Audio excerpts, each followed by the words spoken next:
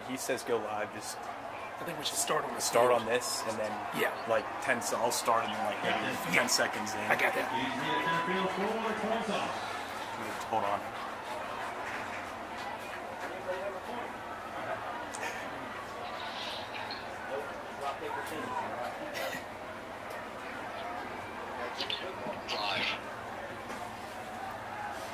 Hello and welcome to historic House Park for week one of the Texas high school football season. It's also the debut of KVUE's Friday Football Fever on Thursday. Yes, you heard right. He's sports director Jeff Jones. I'm sports anchor and reporter Tyler Feldman. It's great to have you with us here on this debut broadcast stream. Jeff, this is some KVUE history. Mm-hmm. We have a great game to kick off the first week of the high school football season. The first night, a rivalry game, the 22nd annual Taco Shack Bowl between rivals McCallum mm-hmm. and Anderson.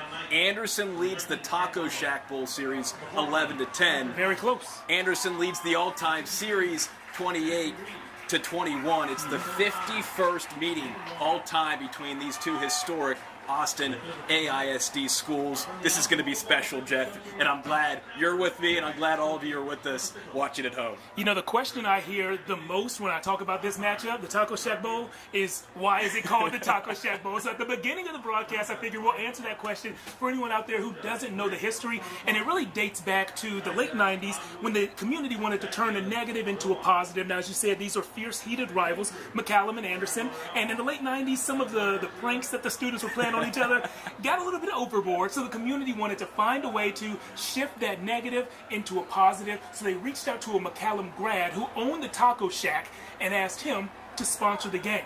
He hopped on board and, and a, a bowl game was born. Nothing brings two communities together mm-hmm. quite like some delicious tacos from Taco Shack. We actually have the coin toss going on right now as we show you what's happening. McCallum, the home team tonight, Anderson, the road team. Jeff, these are two heated rivals. Mm-hmm.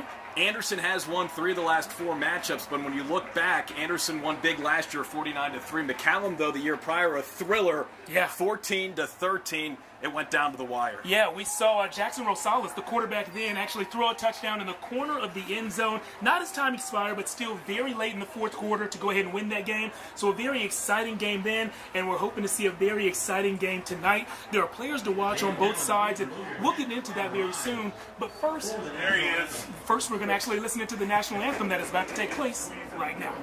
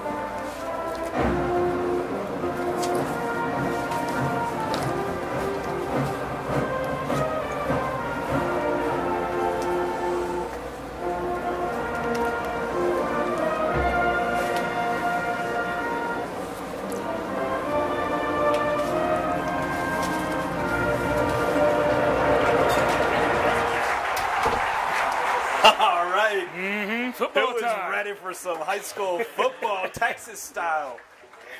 Again, first ever KVUE's Friday Football Fever on Thursday, live streaming on KVUE Plus and YouTube. Jeff Jones, Tyler Feldman, Corey Bose with us here as well at historic House Park. Jeff, this game, it's a special one. No better way to kick off the season. Let's talk about some of the guys we'll be watching out for tonight, starting with the big name, 1-8 for Anderson, Ed Small. As a sophomore breakout season, Texas baseball commit had nearly 1,200 receiving yards, 60 receptions, 15 touchdowns in just 10 games. He actually had 70 yards receiving in this game a year ago, two touchdowns.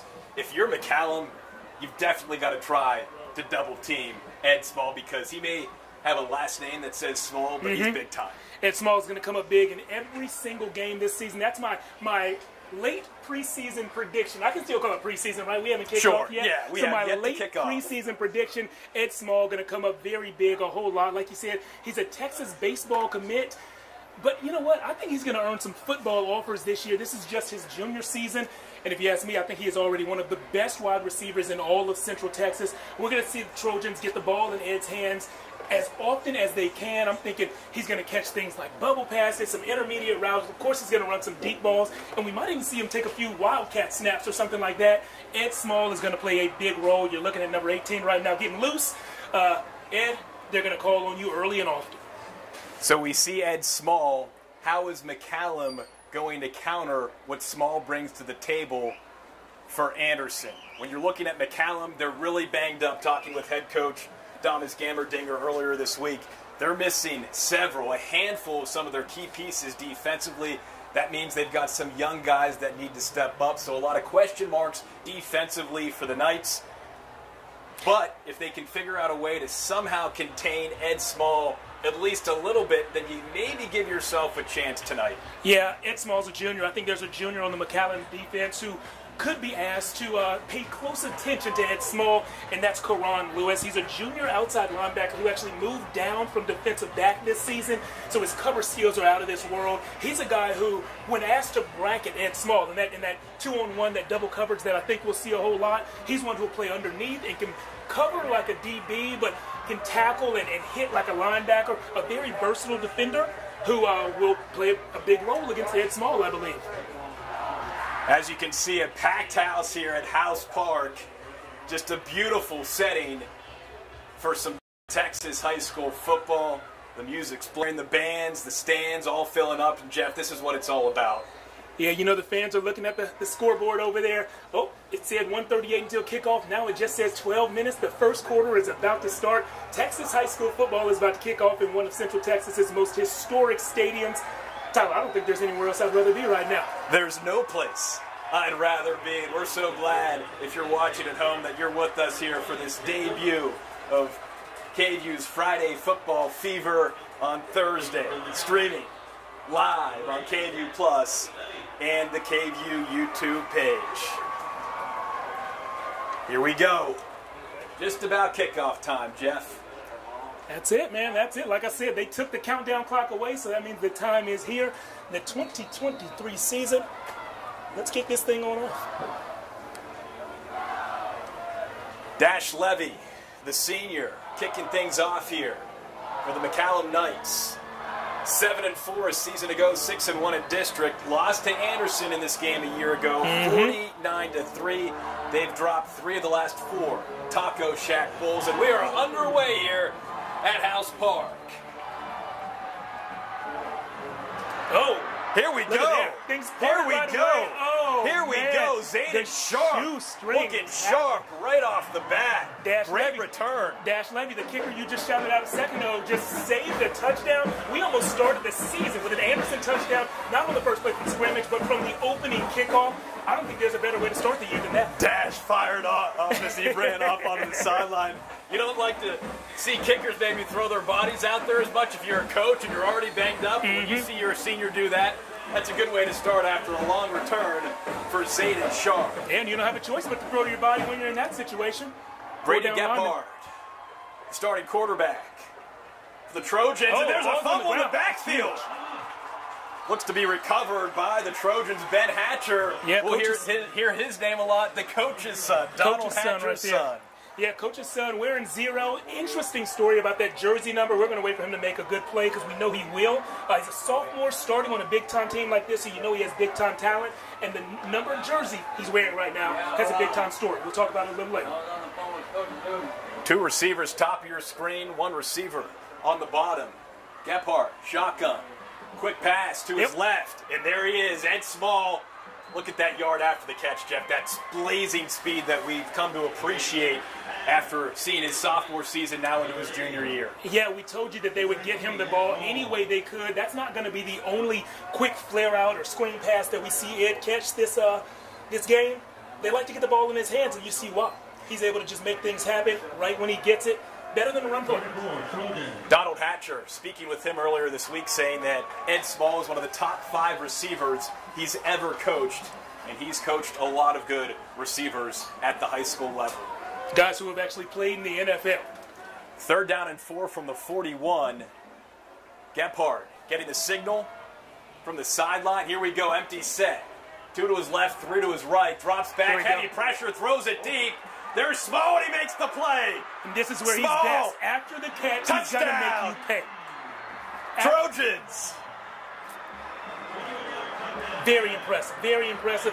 You know, he adjusts well in midair to make the catch. That's what a good receiver will do, but a great receiver will add on the YAC, the yards after catch. Once he brought it down, it was him and two defenders and you knew right away that he was going to win. When he is out there with that much space, it is hard to bring Ed Small down. And look who's the holder. Ed Small. You think they got a few fakes planned for him this season? Maybe a few, Jeff. hey, Gebhardt said, I'm just going to throw this up. Jump ball. Ed, you better come down with it. Double covered. Still came down with it. Then 10 more yards for the 41 yard touchdown. Early 6 nothing lead for Anderson. Exactly how you want this ball game to start. Long kickoff return for Zayden Sharp. A few plays later, Touchdown. That ball just sneaks through the uprights. And it is 7 0 Anderson. Heck of a start for the Anderson Trojans, looking to make it four of five. The Trojans, hey Jeff, four and six a season ago, two and six in district. Mm-hmm. Probably their best win, or the win that pumped the team up the most, was this ball game a season ago. Yeah, and, and a start like this sets them up for another win like that. So you know, things can't get off to a better start than they did. The awesome kick return, get it to your best player early and often, as we predicted, and watch him do his thing. Ed Small went to go score when the ball got in his hands. I don't know that that's the last time we'll see him do that. I don't think it's the last time we'll see Ed Small do that. The trust from Gebhardt to just toss it up there to Small, mm-hmm. believe that he'll come down with it. And again, talking with head coach Thomas Gammerdinger earlier this week, for McCallum, they're losing some big names defensively, a handful, and that's tough. And we saw that on that opening drive with the Trojans. And you know what hurts a lot about that one is that play. I'm talking about that touchdown play. If you're the Knights defense, like they were there in the backfield. The pass rush made it almost home. And when you get that close, you have to impact the passer somehow. Get a hand on the ball, a hand on the elbow, something. So what we just saw doesn't happen if you're the defense.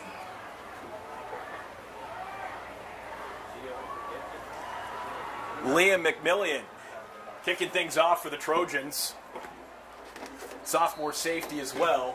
7 0 if you're just joining us here on KVUE's Friday Football Fever on Thursday. McCallum receives at the 15. McCallum, okay. Drew Andrews, Pummel. Little chippiness, Jeff. Come to expect this at the Taco Shack. That's exactly it, man. That is exactly it. A little chippiness. Is that tortilla chips or what kind of chips are Hey, man, you step inside the Taco Shack. Uh huh. It's friendly. You step inside the Taco Shack bowl. Okay. All hands on on deck. No hands in the bowl. No hands in the bowl. Maybe if they're washed. hey, I do want to point out that that was defensive end Jack Middleton who was down there on the coverage team. When you have a, uh, a defensive end or a D tackle on your coverage team, you know that that's a high effort guy because they have to get down there and bang with the big bodies every single play. First down and 10 for the Knights. Luke Dunham hands it off to Mitchell Butler. Dunham, the quarterback, a junior. Jack Middleton making that stop. And mm-hmm. Jeff, to sidestep here to Jack Middleton, Donald Hatcher said we should keep an eye on him throughout this entire ball game. Yeah, you know, something I like a lot about him, this is Jack's first year playing defense. He moved over from offensive tackle to DN this season, so he still has that mindset. He knows uh, the different ways that the tackles pass it and how to take advantage of that. He could be a big time player this season on the defense. Another handoff to Butler, and Butler inching closer and closer to that first down marker. Mitchell Butler, the junior, Head coach Thomas Gammerdinger saying that Butler he expects him to have a breakout season. Mm. Flew under the radar a year ago. Chains have moved. It is first down at 10 for the Knights.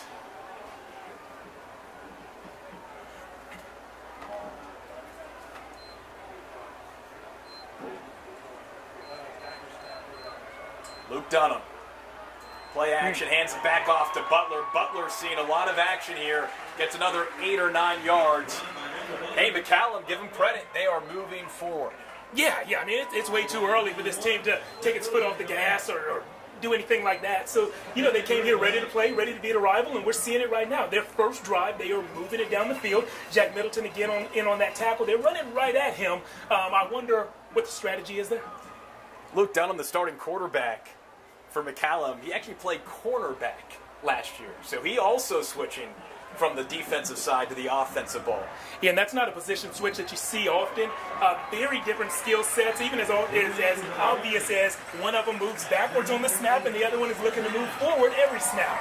So, interesting position change, but hey, he's commanding this offense and moving them down the field. Drew Anders picking up a few yards there. One of the team leaders for this night's program this season. Senior. And in the same way that we said Jack Middleton, the DN for uh, Anderson, can still think like an offensive lineman. Well, the Knights quarterback can do the same thing, can recognize coverages quicker than maybe other high school quarterbacks. This could be an advantage, his position change.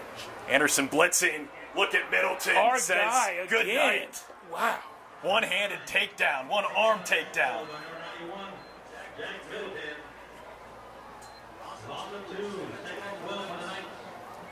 Power clean 315 pounds this offseason, Jeff.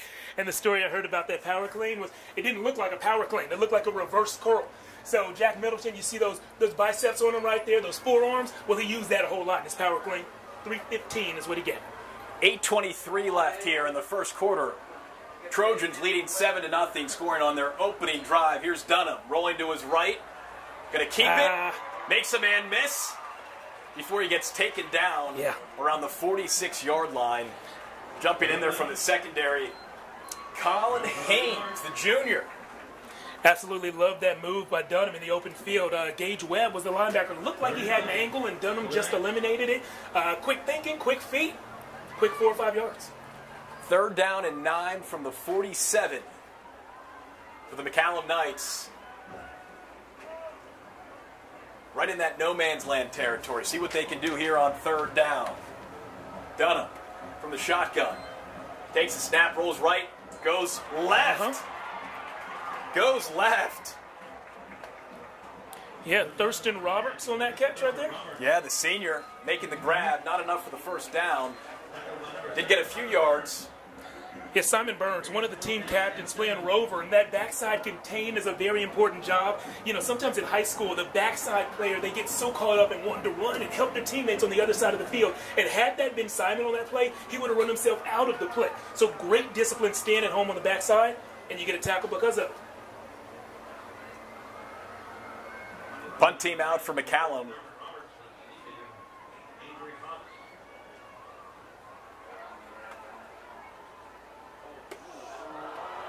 High Oh. snap, gets away, flag thrown. Just boot it. No, you can't. Oh boy. Trojan snuck in there. Tough situation for the Knights. Yeah, yeah. Gage Webb and Simon Burns, two guys whose names we called recently, combined for the tackle on that one. Anderson going to take over in the red zone already. Thurston Roberts just couldn't handle the snap. Flag is out though, so we'll have to wait and see what the call is on the field.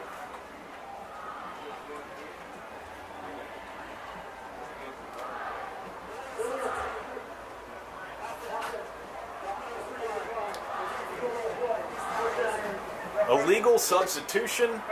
Penalty is declined, so Anderson takes over inside the 20 yard line. Prime opportunity, primo opportunity for Anderson to get some more points. McCallum calls a timeout. Head coach Thomas Gammerdinger certainly wants to talk things over, regroup his team after a costly mistake like that. Certainly, you don't want to go down two touchdowns this early. 6:42 left in the first quarter. Yeah, and you know, so many times the uh, first game of the season, what jumps out are the mistakes, the opportunities left on the field, and the two big ones that we've seen so far. Think about that McCallum pass rush that didn't quite make it home. Well, that play ended up in a long touchdown from for Anderson's best player, and you have a mistake right here, the snap that wasn't handled by the punter. That may be a 60-yard swing an advantage for the Trojans. They get the ball in the red zone and they're already the offense having the most success. You don't want to give them any kind of advantage. And here they are. It looks like they're primed to go up two scores. And Jeff, we always talk about the big explosive plays. Well, so far, it's been all Anderson. Kickoff return, touchdown, punt opportunity there missed by McCallum. So the three biggest plays have all gone in Anderson's favor so far. Yeah, the explosive plays go in one direction, and all the mistakes are going in the other direction. Well, I mean, that, that adds up for a lopsided game. But look at the student section. Anderson Trojans. They brought it tonight. Doused in red and white. Packed house at House Park. What a sight, Jeff. Week one, Texas high school football. You know, starting things off with a rivalry game is the way to do it. I wish every team could do that. Start off with one of the biggest games on your schedule. Let's see what you've been working on all, all season and give teams two weeks to prepare for one of the biggest opponents. Small gets the handoff. Any way they can get it to them. Any way possible. Hey, if you're if you're head coach Donald Hatcher, Yeah. you give the ball to your best player, right? Yeah. Early and often. Yeah, yeah. We've already said Coach Hatcher thinks as a junior, and Small is one of the best receivers he's ever coached. Uh, one of the best receivers on that lineup that he's ever coached is actually Ryan Watts. Longhorn fans know him. He's a starting corner, about to be a two-year starter for the Longhorns. And Coach Hatcher says Ed Small has Ryan Watts-like athleticism. Second down at 10 from the 17 for Gephardt. Hands it off this time to Ben Hatcher. What I love hearing Coach Hatcher talk about his son Ben Hatcher. He's only a sophomore. The older guys like to give him a little trouble. Yeah, they time- say they, they poke a to little fun at him, poke a little fun at him, and Ben's very um, knowledgeable and, very aware of not breaking the rules. He knows he's a coach's son, and he knows what the standard that means. So uh, he's a good kid. Third down and nine for the 16, Gephardt. Left side, there's Small.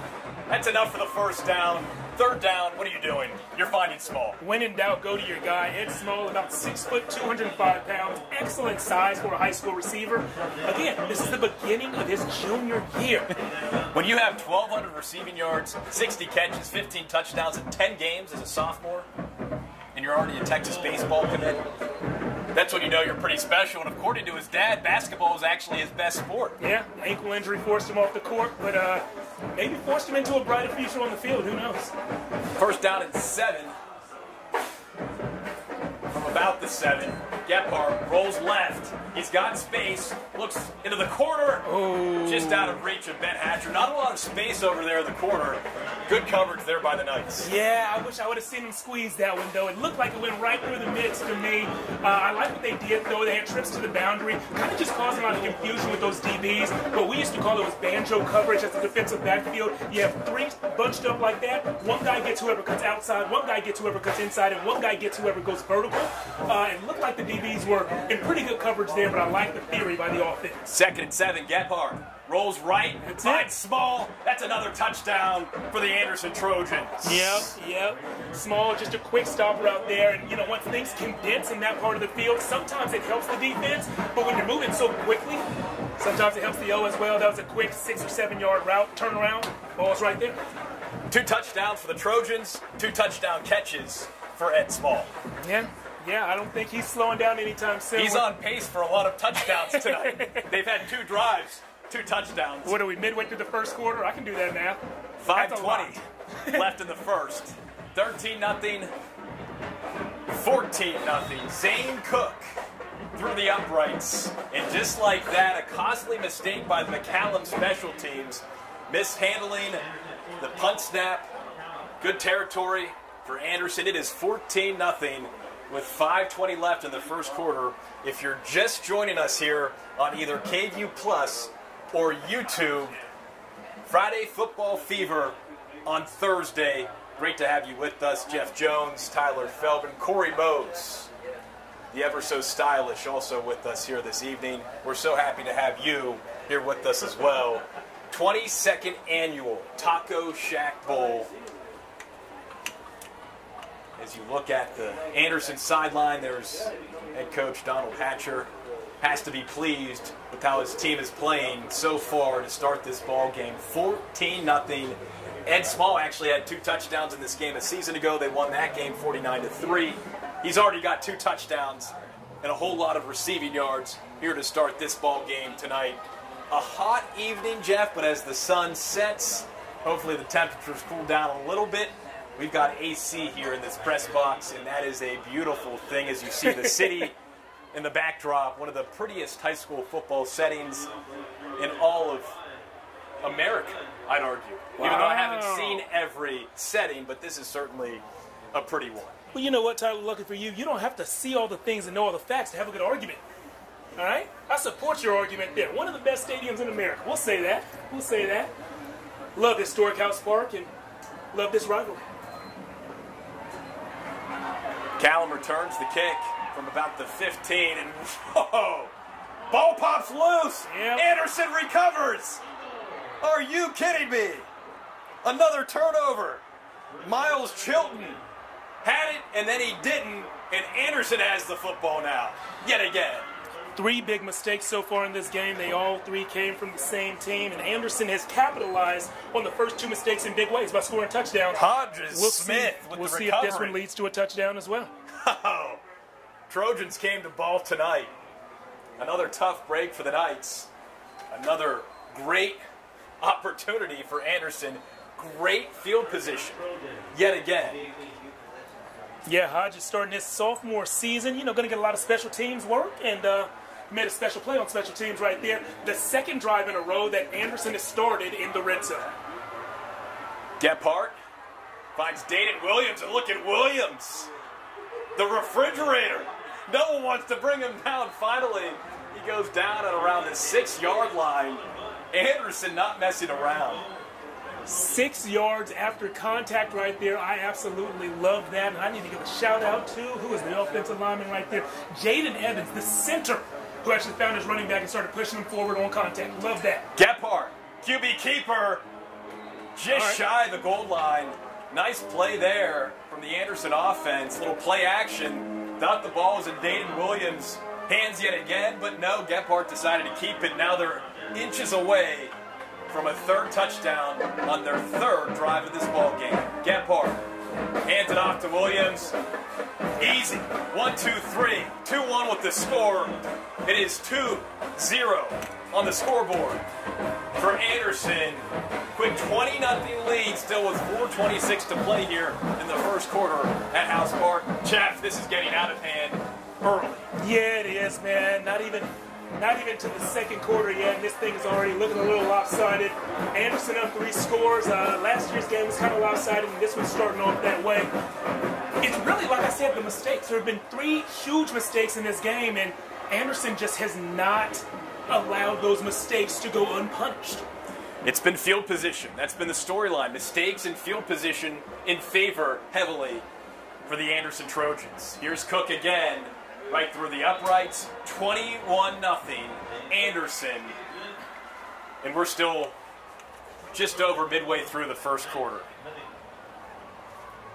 Now, the, the biggest win all time in this Taco Shack Bowl series, Jeff, last year, 49 to 3. Hmm. And right now, Anderson is on pace to blow that out of the water unless McCallum figures out a way to turn things around. Yeah, and I mean, don't don't expect that pace to continue if the mistakes don't continue, right? If you keep on turning the ball over, if you keep on giving Anderson chances that start in the red zone, well, they're going to keep on putting points on the board.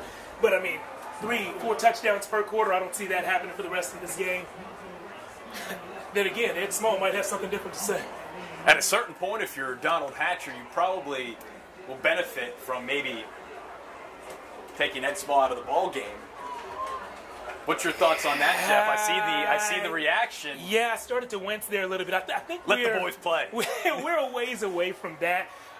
I mean, maybe if this thing stays lopsided through the half. Um, but these are a bunch of young men who haven't played in a competitive setting like this in months. So you want them to get those reps, learn from some mistakes in, in real time and, and in a live set. Mitchell Butler back to receive. And he calls a fair catch. They said, enough. We want the ball. We don't want any mistakes. We want to try to set up this offense. Mm-hmm. And you know what? Your offense right now is well rested, and they're probably feeling like, hey, had we had a chance to get back on the field, we would have made something happen. Well, right now is your chance to prove it. I'm sure Coach Gammerdinger and, and this Knights staff will dial up their safe plays right now. You're not swinging for the fences. You're not trying to score three touchdowns on one play. It can't happen. You just need to get in a rhythm. So I expect to see some some short passes and some runs that they really trust in. I don't think they're going deep shots early in this drive. Hey, shout out to the McCallum sideline here. We're right above them, and they are loud despite this 21 0 score. They're doing their part. First and 10 from the 25. Flag, false start. Going to be a five yard penalty. Jeff, mistakes. Mistakes. Mistakes. Yeah, you said it, man. Saying it three times was accurate right there. And you would have thought when we saw Coach Gammerdinger before the game and you saw how rugged his McCallum hat was, that it was a good luck hat. he said he's not a superstitious guy. Yeah, yeah. That hat has been through a lot. Maybe it could turn into a special hat tonight. If they come back in this one, I think that hat's got to be called a good luck hat. Dunham. Yep. Back to Butler. Yep. Butler. Looking nice. Serving up some some nice little runs here. Yeah, it looked like a little trap play to me right there. I mean, that's something that you install early on in camp. So again, a safe play that these guys are used to. Uh, we want to get in the rhythm. So get four or five yards here or there. You don't have to go for the huge chunk plays on every play. Second and nine from the 26. 3.56 to go here in the first quarter if you're just joining us. Dunham. Little pitch to his left. Yep. There's Butler. Big seam. Big block out in front. Butler bounces free. He's across the 50. Down around the 44 yard line. Taken down by Thomas Benitez. Butler keeping things going here for this McCallum offense. Very nice run, and got to give a shout out to the offensive lineman, A.J. Wolf, number 56. He's the one who Butler actually ran into about 15 yards into the run. Oh, and you know what? I was going to say it looked like they could have called him for a hold, and they did. The block was great. The effort was great, but he hooked him a little bit. Hey, if you have an offensive lineman holding somebody 20 yards downfield, that means they're giving max effort, and I'm okay with I'm okay with effort penalties. You saw that little shrug there from head coach Tom Gammerdinger. Couldn't believe it when you have a big splash play like that. That would have certainly helped this McCallum offense. Now it's first and 10 from the 36. 3.44 to go here in the first. Dunham hands it back to Butler. Butler cuts out, cuts in. Taken down by Gage Webb around the 41 yard line. So another five yards. Butler keeps pushing forward, keeps those feet moving, Jeff. Yeah, I, I, like this. I like this. And again, I told you early in this drive, I didn't want them to come out frantic, you know, looking to make up for their mistakes on one drive, because you can't do that. But this drive is slow and methodical. They're in control of this. This is how you get back in the game. Not always with huge splash plays. Set it up like this. Second and four from the 42. 22nd annual Taco Shack Bowl. Dunham from the shotgun. Oh, yeah. Pitches it back to Butler. Same setup. Butler spins his way to about the 49 yard line. Some extracurriculars in the backfield, too. Yeah, yeah, I see that. And then like- they're being friendly now. They said, good, good little battle there. Yeah, yeah. Looked like uh, that Liam McMillan, the Anderson safety, got tangled up with an offensive lineman. He was severely outsized, and uh, I think he saw that he was outweighed by about 80 pounds and said, "You know what? We can be friends. Go get tacos after the game." Breakfast tacos, if you're me, Jeff. Any time of day. First and 10 from the 49. We're gonna dive deeper into that in a little bit. Looking forward to that, Jeff. Oh! Who Middleton! Right up the middle says, hey, it wasn't me. Don't arrest me for that play. Oh! Yeah, man. The best player on the field so far on the Anderson defense. You can't leave him unblocked. It's astonishing to me that last season this guy played offensive tackle because he looks like he's at home. Yeah. He's at home playing DN and he's at home in the uh, McCallum backfield. He- He's at home at House Park. There we go. Feels right at home at the house. Dunham, second and 13 from the. We've got flags. A little delay on the flag there. We've got flags. little delay. We've got multiple flags.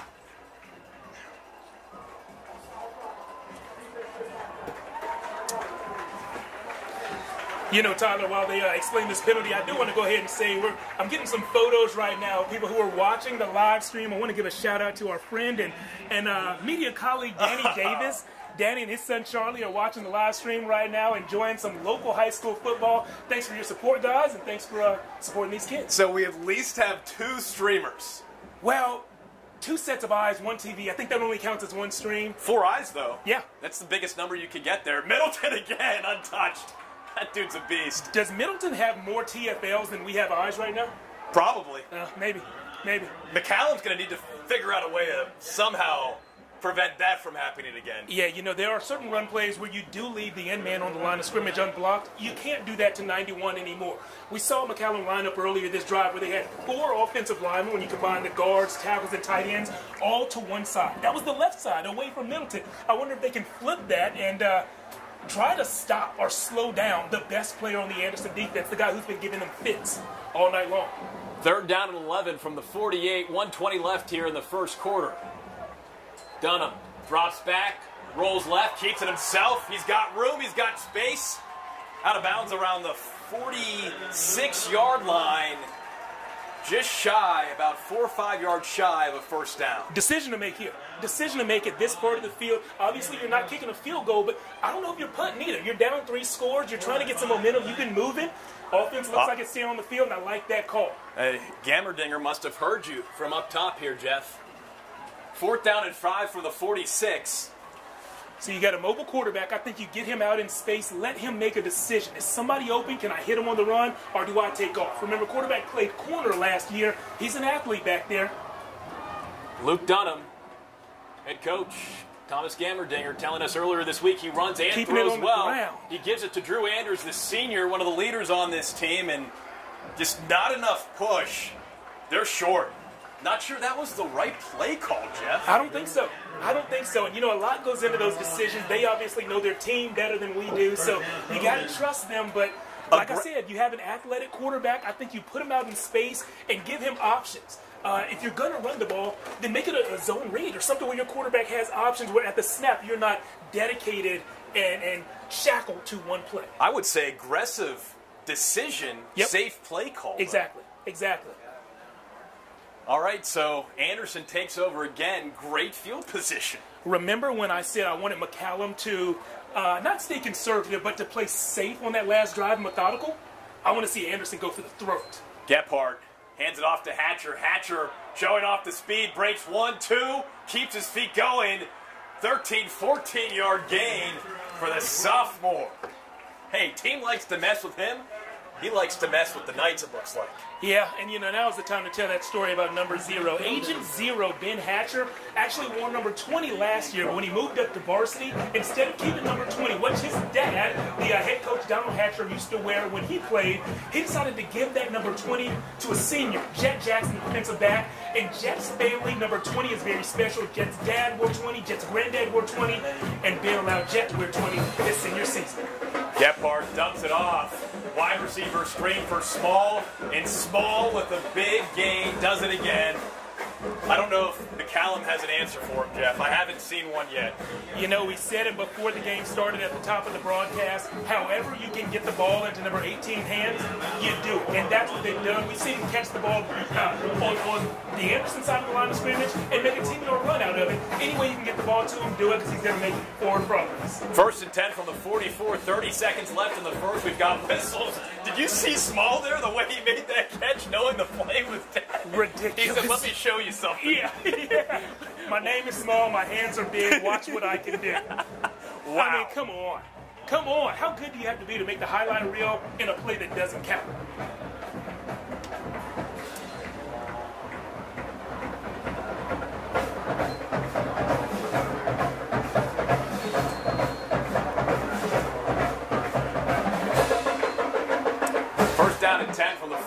29 ticks left on the first quarter clock here at historic House Park. Gephardt hands it off. Hatcher ripped down around the 40, 38, 39. Yeah, and some guys just have that extra whatever it is in them, just that extra courage, fight, that mentality to get every single yard on every single carry. Patrick could have gone down pretty easy there, and he chose not to. He was fighting at the end of that run. I like that. That's going to gain him two more yards on every run he has, and that'll add up over the course of a game and a season. Well, Jeff, we know he's not a troublemaker. It's not in his blood. He's going to do everything he can to not get in trouble. That'll do it for the first quarter. Anderson 21, McCallum 0. McCallum giving Anderson all the big chances, all the big opportunities, the great field position. The Trojans certainly taking advantage. Ed Small, a big factor, but certainly the mistakes from the Knights. Yeah, you know, and really, like Anderson's doing their job on offense. Ed Small is as good as advertised. I, I said at the top of the show that uh, he doesn't have many big time D1 football offers yet. I do think that that will change this season. Um, but Anderson's offense has kind of just been doing what they're supposed to do, capitalizing on the opportunities. I guess we can say they're forcing McCallum into mistakes, but really McCallum is uh, volunteering some of those mistakes as well. They gotta clean that up to make this game competitive. 21 to nothing. Anderson scoring on all three of its drives to start this ball game as we get set for the second quarter. We're looking right now at Ryan Watts. You know, we talked about uh, Ryan Watts being one of Donald Hatcher's former receivers. Coach Hatcher told us that Ed Small may be a top five wide receiver he's ever coached. I asked who was in that top five, and Ryan Watts, who was a current Texas corner, was on that list. Second down and 12 from the 36 for the Trojans to start the second quarter, up 21 0 Fourth drive of the ball game for Anderson. Gebhardt has to get rid of it quickly. There's Dayton Williams. A couple stutter steps, keeps his feet moving. It's down to about the 32, 33 yard line. Didn't have a ton of space, but kept his feet going. Yeah, and the guy who made the tackle right there is Mark Sanchez. He may be the best athlete on this McCallum team, number two for uh, for McCallum. He's going to play both ways. Maybe he'll get 100, maybe an 110 snaps tonight. Uh, we saw him hold true to his fundamentals on defense, tackling the outside knee of a big ball player. Third and eight from the 32 for Anderson. Gephardt from the shotgun. Drops back. A lot of room to run. He breaks up the middle. Keeps it himself. Good blocking downfield. Hatcher with a Oh, big wow. block. And he bulldozes past the 20 and around the 19 yard line. Big time play for Gebhardt. Yeah, Jax Hicks, the free safety, on the wrong side of that collision at the end. This is Jax's first varsity game. He's a sophomore. Earlier, Tyler, you told us there are four key defenders for the Knights who are out in this game due to injury, and uh, they're being replaced by some young talent. Jax, one of the young guys, made the stop on the play. Jax, like Jeff said, first varsity game, replacing Gus Ellers, a junior. Serious injury for Ellers. We're told he's actually out for the season, unfortunately. If you look on your screen toward the left, we see number 13 for McCallum. That is Ed Bamba. He's a senior, team leader. He was a guy who I was watching on that last play. He actually looked to me like he beat a double team, but kind of got held. And so as Gephardt, the, the quarterback, was breaking through, you know, Bamba's looking around like, where's the flag? Where's the flag? And, and I'm with you there, big man. It did look like he got held. Coach uh, Gammerdinger told us that Ed is about six foot four, 220 pounds, looks like a big time college football player. He's dedicated to academics, though, so he may or may not choose to play at the next level. But as you can see on the screen, he's got the size, and I believe he's someone who we could see in the Anderson backfield later in this game. Hey, and he's got the last name Bamba. That's a great last name, Jeff. Great last name, great in song lyrics, just great vibes. Bamba. Great socks. You ever worn some Bamba socks? I'm wearing Bombas. really? I have them on my, we want to get the camera down here or save that for, for maybe after the game? We don't need to show off your expensive taste. You can't smell through a, through a monitor. Back to football. Let's see what's going on on the field, away from feet and towards football. Anderson smelling a 28 nothing lead, possibly. We'll see. First and 10 for the 19. Gephardt steps up, and there's your boy Bamba. How about Calvin that? Cathy How there as well. that? The two ends ending with a little shared sack in the backfield. The timing doesn't get much better than that, does it? We just gave Ed a shout out, and I told you he could be in the Anderson backfield soon. He was. You know, I'm sure coaches told him after that play, Ed, you're going to get held. You're too big, too strong, too fast. Find a way to be good enough to get back there and fight through the hole. Calvin Cathy also there on this stop. Apparently, we're told he squatted 600 pounds, Jeff. and then they told him to stop. yeah. He Said, could go over that's enough." 600. They said. Gephardt looks left, doesn't see anything, keeps it himself right up the middle, untouched until about the 17 yard line. Jeff, what a decision. That's a quick decision right off the plate. Saw that Ed was covered, double teamed, and made the quick decision to go right up the middle. Yeah, and I couldn't tell quite, quite right away if that was a decision or if that was a play call. If it was a play call, I think it's brilliant because we've seen Ed Smart get those, Ed, Ed Small get those those now routes over and over again. Um, I did see 53 Jaden Evans, the, uh, the center, downfield blocking, so that could have been a play call. Gephardt looking deep, Whoop. finds small inside the five and stretches over the pylon for another touchdown. Third touchdown of the game for Ed Small. It is 27 0 Anderson. Three touchdowns in the first half. The junior looks like he could be, I mean, at least an all conference player, if not more than that. And remember, this is his second or maybe third best sport. Jeez. I just love the story about his dad, Calvin. This is from head coach Donald Hatcher saying that his best sport was probably basketball. Yeah. But broken ankle freshman year as Cook threw the uprights again, 28 nothing. Anderson, 946, still remaining in the second quarter. Jeff, this game getting out of hand very early. Yeah, yeah, this one. And I'm uh, not sure. I haven't seen anything from McCallum. You look at some of the best players we've seen on the field Middleton, Small, Gephardt, Hatcher, the playmakers. It's been on the Anderson side. They've been wearing white. You know, Bamba showed up a little bit on this last drive. Uh, we did know that he was going to be one of the better players for McCallum. But with this kind of deficit, 28 to 0, I don't know that it's a defensive end who's going to bring you back in this one. Uh, maybe he can help keep 28 at 28, but you got to have somebody on the McCallum offense. And that, that run game was clicking on the last drive, but they got to find a way to put points on the board. Well, we saw Ryan Watts on the sideline. Mm-hmm. Does he have any high school availability left? I know he's got the relationship with Donald Hatcher of Anderson, but is he available to maybe assist McCallum? I don't know how Steve Sarkisian would feel about that. You know, I like to research a lot of things before I give answers, but Tyler, I'm pretty confident on this one. the answer is no. Love that confidence, Jeff. You know, a I, I confident, I said pretty confident. I'm not. a pretty confident Pretty- Jeff Jones is a scary Jeff Jones. Fair catch, calling around the nine-yard line. They'll get it at the 25. McCallum looking to put points on the board for the first time tonight. Will this be the series for the Knights? The run game was working last drive. I think you stick with that. At this point, 28-0 with nine minutes left. You gotta find, you gotta, you gotta get that zero off the board before halftime. Obviously, it'd be great if you could get two scores before halftime, but you gotta get one. And you'd like to see this offense piece together like a six-minute drive. Take some time off the clock, regroup at halftime. You never know what can happen in the second.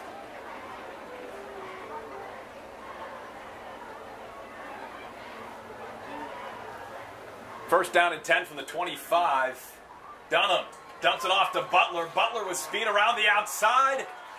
Looks to have gotten the first down, pushed out of bounds around the 35 yard line. Yeah, I like a lot of things about that play. You know, the best way to slow down a pass rush is, of course, screens and draws. And so we see a screen right there. It's a high probability play.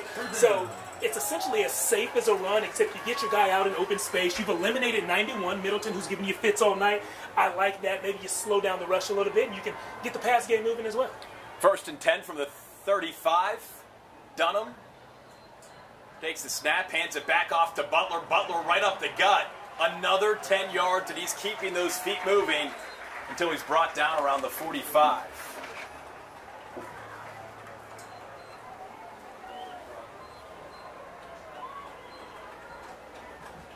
Nine thirty-two left to play here in the second quarter as the sky darkens here with the city in the background. 28 nothing Anderson scoring on all four of their drives so far in this ball game. Trojans It's- making quick work of this Taco Shack Bowl. It's been Ed Small just showing off what he can do. Whether it's catching passes behind the line of scrimmage, down the field. Wow, timed that up perfectly. Botch snap, Flag on the play, and there's Middleton on Dunham's back. He, he didn't really appreciate. He got up a little bit quickly there. Simon Burns got in on the play late there. He came off the left edge from his defensive back position. He timed the snap up perfectly. And I don't know if that's uh, some film study that he did, if that's just getting lucky, or if they're down there, they have a tail on the McCallum line. Uh, he timed that up perfectly. Could be ripe for a, uh, a two count and a quick five yards for the Knights. Jeff, I thought the stands here on the McCallum side were clearing out. I said, wait, it's a little bit too soon for that. It's just the band mm-hmm. getting ready for halftime. Got to get back in tune with the high school football season. and hey, you're just joining us. Debut broadcast stream of KVUE's, Friday Football Fever on Thursday. Special night here at House Park, Taco Shack Bowl. 28 0 Anderson over McCallum right now. Under nine to play in the second quarter. Dunham from the shotgun. Right to Wow. Butler and Middleton making some more noise in the backfield. That's just too easy, Jeff. When you give it to Butler every time, Middleton's starting to guess right Yeah, and, and you know, make the right reads. The first play they ran was intended to slow him down, a screen to his side. He was slow for about two or three plays, but after that, he's getting ramped up now. He's trusting his instincts again, and uh, he's playing like we've seen him play all night. 91 has been scary. I'd say it's not even Halloween yet, Jeff. We're talking about scary. Maybe I'll dress up as Jack Middleton, get a 91 jersey.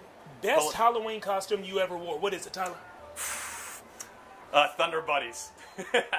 Thunder Buddies. I have no clue what Thunder Buddies is. Is that Now I'm going to have to think of the movie. It's with, uh, oh, testing the movie knowledge.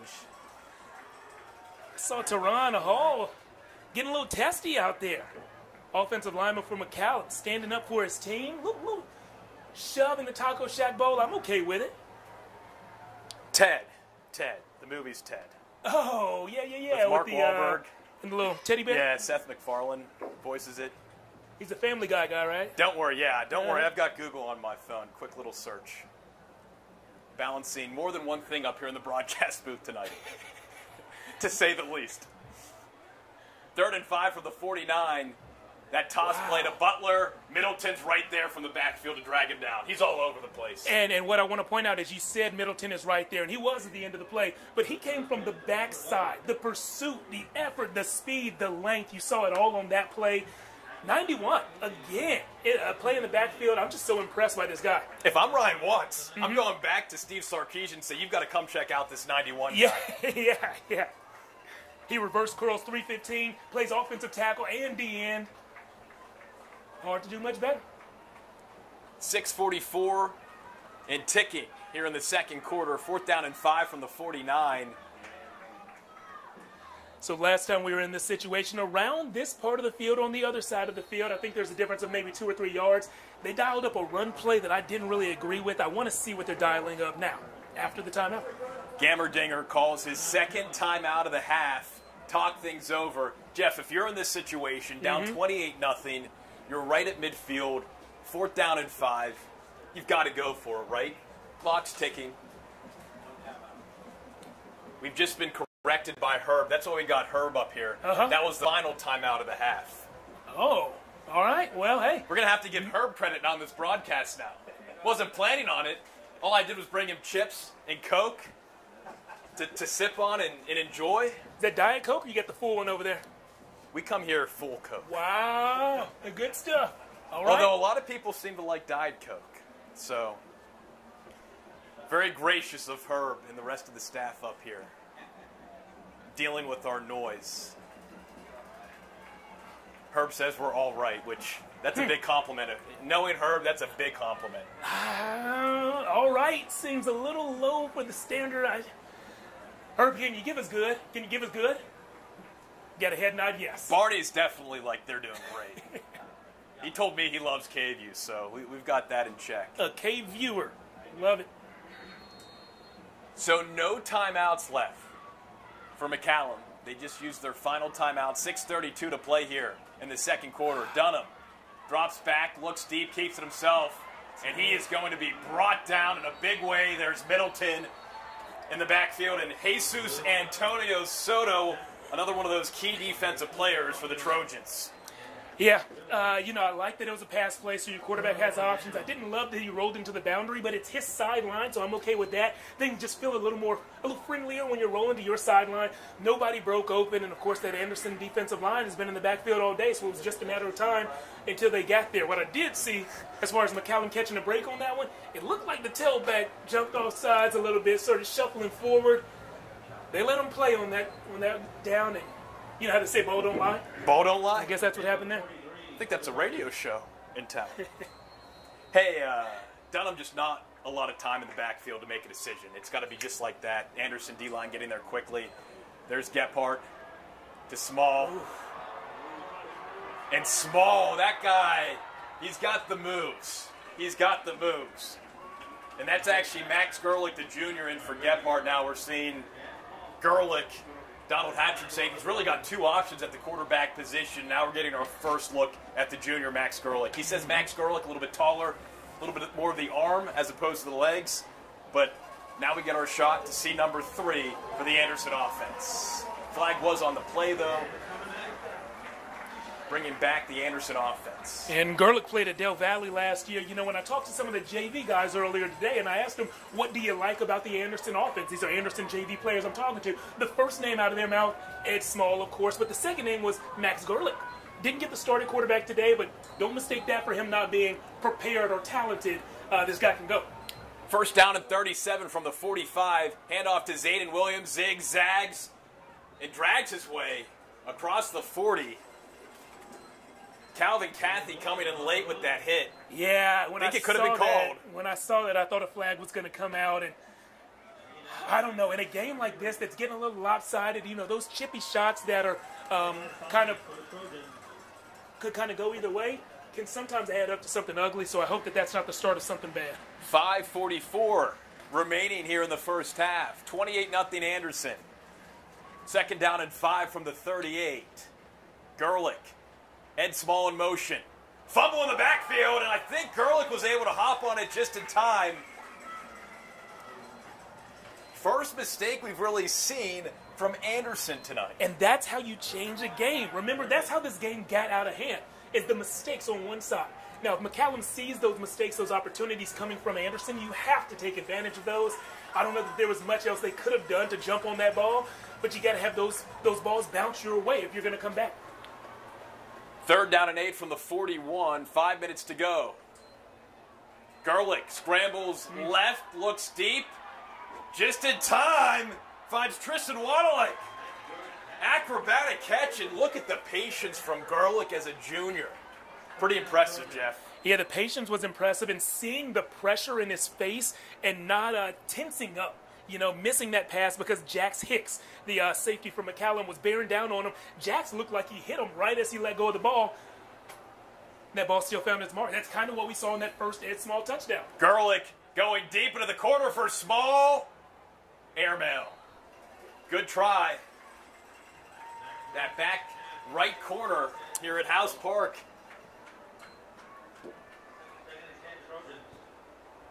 That was double coverage on Small.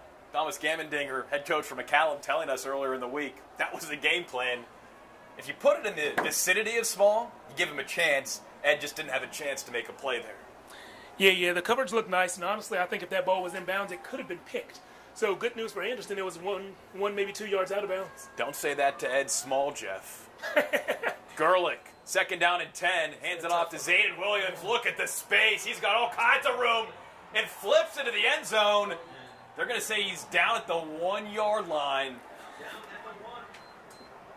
I got to give it to Finn Corrigan, the, the senior cornerback, who was probably outweighed by 40 pounds on that play. When I saw that matchup in the open field, I thought that was a touchdown. Uh, Finn stuck his nose in there and made a play at the goal line. You know, make him snap it again. You don't know what can happen. Williams. No, it's Gerlich, and Gerlich Well- QB sneaks it in for the fifth touchdown of the game on the fifth drive of the game for the Anderson Trojans. They've scored on every single drive so far tonight, 34 to nothing. 4:08 to play here in the second quarter. Gerlich was able to masterfully dictate a nice little offensive drive there. The first time we saw action from him tonight, Jeff. Yeah, the Anderson offense playing so well that the fans aren't even excited about a touchdown anymore. You see that? That's the Anderson student section just looking kind of ho hum. Hey, this is what we do. We get the ball and we score. So far, they're right. That is what they do. And Zane Cook's been cooking on that extra point. 35 nothing.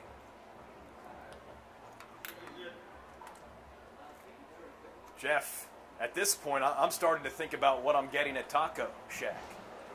So what's on your mind?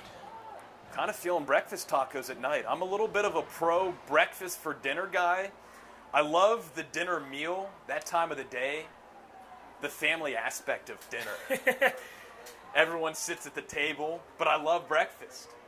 So why not have the best of both worlds? Yeah. Maybe a sausage, egg, and cheese. Around the table Maybe a carne guisada. at like 11 p.m. Mm. Okay. That's okay. late, but you know, on a night like tonight, kickoff for high school football this season on a Yeah. Thursday night on KVUE's Friday Football Fever on Thursday debut broadcast stream on KVU Plus Mm-hmm. Yep. and YouTube. Jeff, Love it, love it. A lot of good right there, a lot of good. Since we're talking breakfast tacos, got to go ahead and say chorizo, potato, and egg. That's the way to go. If you can't do that, you got to do a little migas. Those are my two go-tos. If Any time of day. If there's one thing Jeff knows, it's sports. If there's another thing Jeff knows, it's probably food and grilling.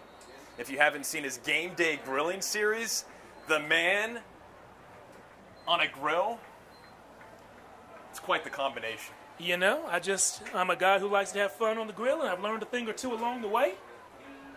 I have probably two or three dishes that I think are, dare I say, restaurant quality. What what dishes are you serving up at a restaurant? You know, if I if I have the Feldmans over, you know, Great decision, first of all. if I have them over and I'm trying to trying to show you one of my better dishes, I'm actually going kind of home style meal. We're gonna go with some smoked jalapeno meatloaf. We're going with some homemade mashed potatoes. You're gonna see a smoke ring when you cut into that meatloaf. It's gonna be delicious, Tyler. Now I'm hungry. I want to eat my peanut butter and jelly halftime sandwich. Dunham, direct snap, keeps it himself. Middleton again. How many times have we said his name tonight? Once again from the backside. So some of this is talent, some of this is smarts. Again, moving over from offensive tackle, he knows how offenses think and how offensive linemen think. But a lot of Middleton's plays have been just pure effort. When he's making these rundown tackles, especially rundown tackles for loss from the backside, all that is is effort, motor, and college coaches like that. Second down and five from the 30. 3.30 left in the second quarter. Anderson up big, 35 to nothing. That pitch play to the right to Butler. Butler finding a seam. Big block ahead there by Henry Snyder. Best lineman on the team, according to head coach Thomas Gammerdinger. And he's one of the team leaders, and he came up forward there with the big block ahead for Butler. Yeah, I saw Braxton Bishop out there as well, I believe. So two offensive linemen out there leading the way. Gotta love that. Again, effort. Effort will get you a long way. We applaud effort up here in the press box and down below on the field.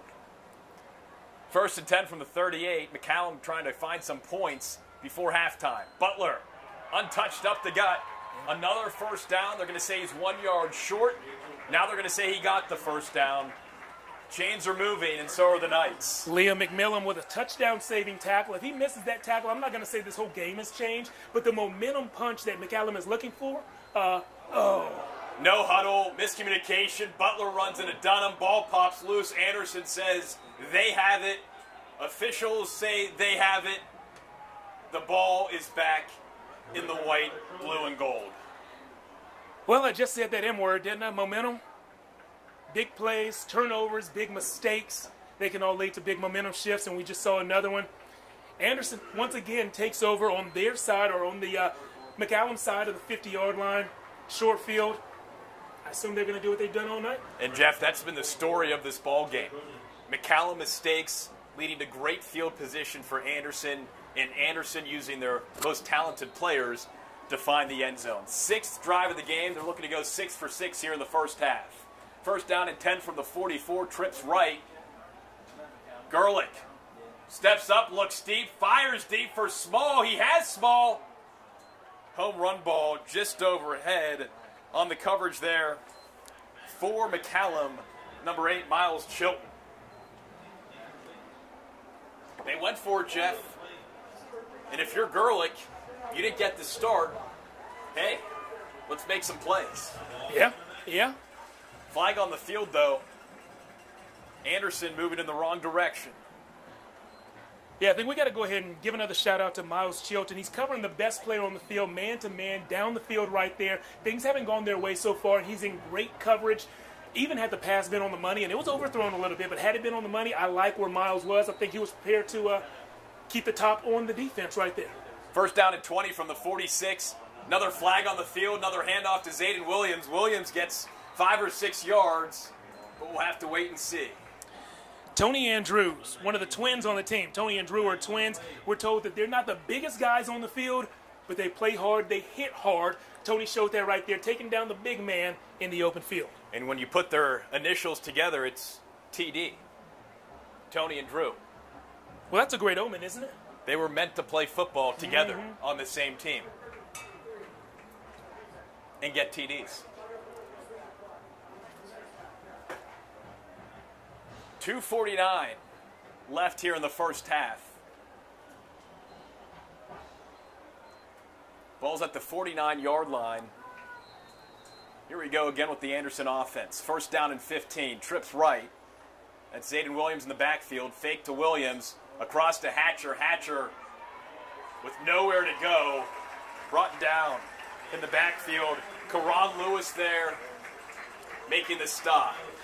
Yeah, so Chilton Lewis, there as well. Lewis and Miles Chilton back there, and when you have a receiver like that, or ball carrier of any position alone, and there are two of you right there, one of you has to hit them, wrap up, and hold them up so your teammate can rip that ball out. I expected to see at least that effort on the play. Didn't quite get there. Clock is ticking. Approaching two minutes. Second down and 20 from the 46. Any way you can, Small in motion, handoff to Small. He's got nowhere to run. All of a sudden, this McCallum defense breaking through. Tony Andrews there, as well as Thurston Roberts, making a couple big stops. I think I saw my man Ed Bamba back there in the backfield as well. A lot of numbers, a lot of guys in the backfield in blue with the silver lids. That McCallum defense, back to back big plays. Third down and 25 from the 41. What do you do here, Jeff, if you're Anderson? I think it's a screen. You know, you don't have to force anything. Just keep the momentum on your side. A few yards and a punt is okay. Trips left. Gerlich. Across the middle.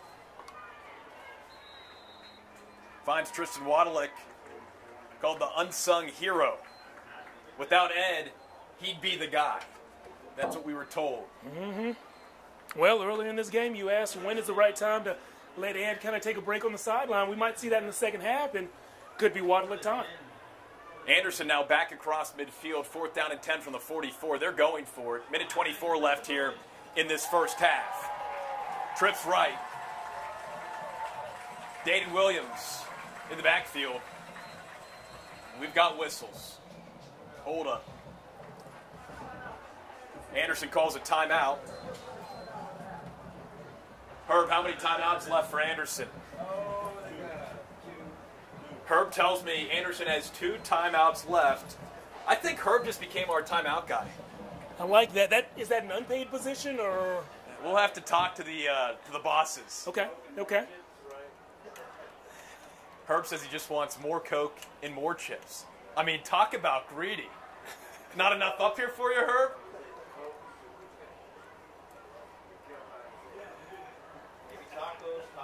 Yeah. Tacos. We've got to. We've got to be. We, Herb's right. We've got to reevaluate. We've got to bring more than just chips next time.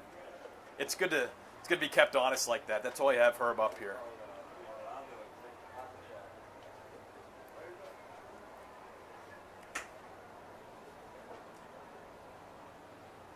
Minute 23 left in the second quarter. Following the Anderson timeout, offense is back on the field. They're going for it. Fourth down and 10 from the 44. Gerlich. The snap. The drop back. Over the middle. Small. Just overhead. Thought he could have brought it down. I think he was scared.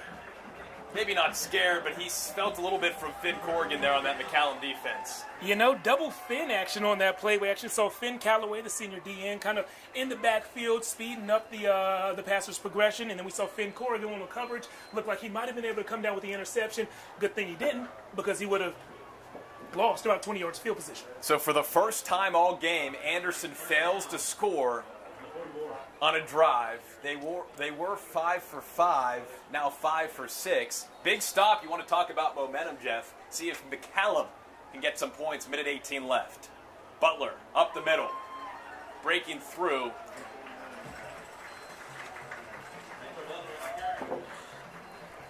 Yeah, the inside of that McCallum offensive line has been special. I'm talking about Cal Giesler, Teron Hall, AJ Wolf. Those guys have been opening up holes in the inside really all game long. They're getting five, six, eight yards a pop. Dunham back to Butler. Great move. Cuts in, spins out.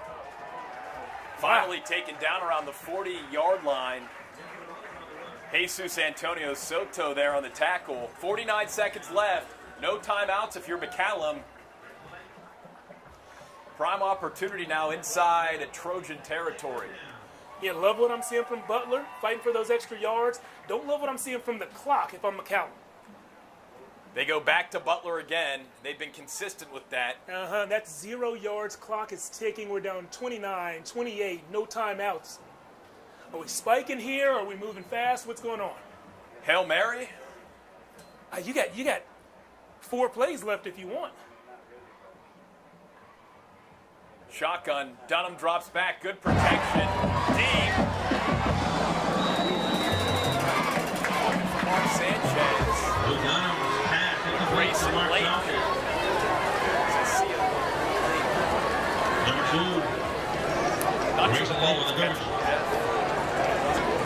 12 for the Knights. Ten seconds left. Got to go for the end zone. Right? Test the arm.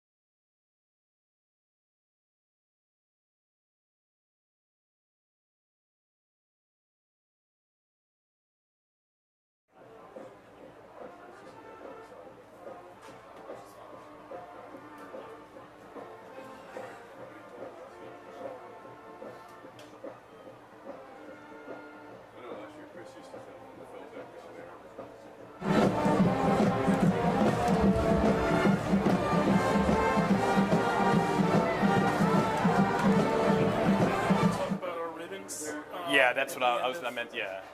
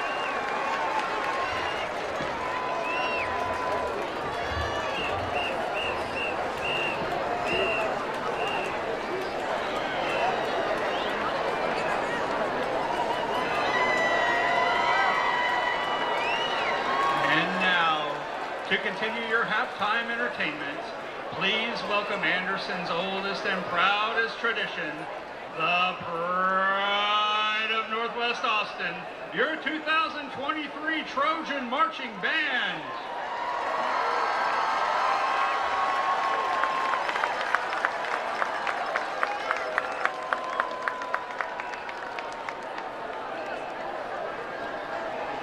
For their Trojan Band are Laura Margot and Sophia Sierra. The band president is Zoe Hills, and the band vice president is Karis Freer. The Trojan Band marchers of the week are Lila Thompson, Jefferson Blaha, Jay Wynn, and Audra Hall. The Anderson Band and Bells would like to wish the McCallum Band and performers good luck this marching season.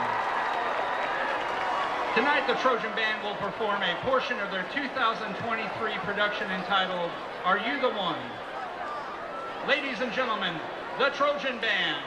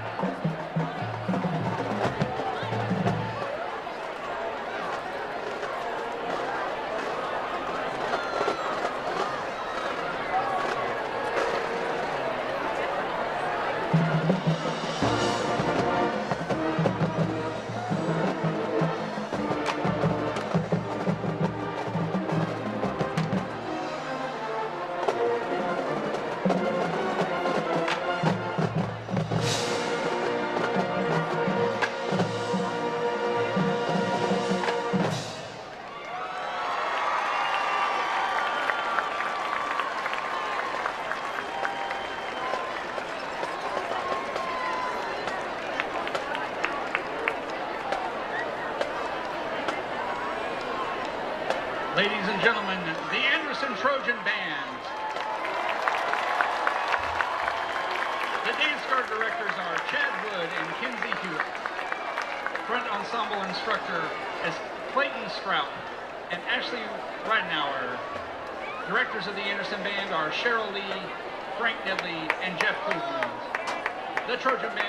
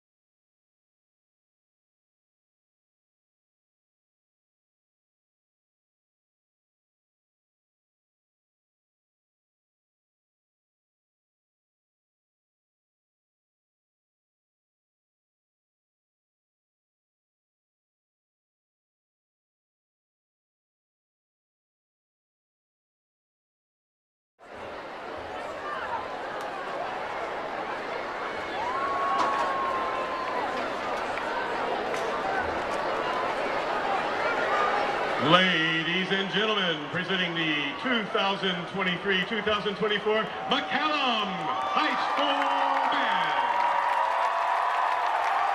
Under the field direction of drum majors Sophia Hamlet, Dee Staffer, and Melena Lindsay. The officers of the Mac Band are President Frank Montesinos, Vice President Thomas Ross, Secretary Grace Valdez, and the reporter historian is Max Davis. Our freshman of the week is by heart. Our band member of the week is Elliot Taylor. And our section of the week are the Mellophones. The McCallum Band is one of the premier 5A bands in the state of Texas. They have appeared in the last three state 5A marching contests, placing sixth in finals at their last appearance. This past July, the band was named a finalist in TMEA Honor Band competition, marking the fourth time in school history that the Mac Band has attained this status. McCallum has the distinction of being the only urban 5A school in the state of Texas to be named an Honor Band finalist.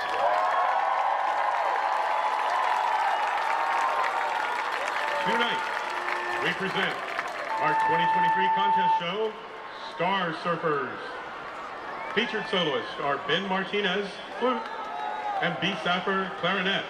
And our featured sax quartet includes Frank Montesinos, Aubrey Mitchell, Elliot Taylor, and William Viner.